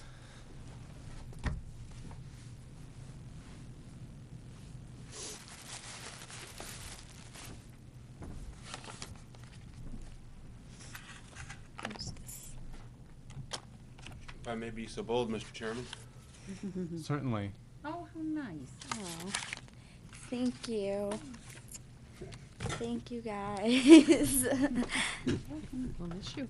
Well, yeah, I we'll will miss you. miss you guys, definitely. When do we know? Well, we could make some DVDs. Yeah, we'll, we'll, uh, Make some we'll deep. tape it for you. Should be real, making real lots of friends at, uh, at Yeah. BU. What are you watching, Sarah? So again, thanks. We've really appreciated uh, your, your involvement with us. Thank you.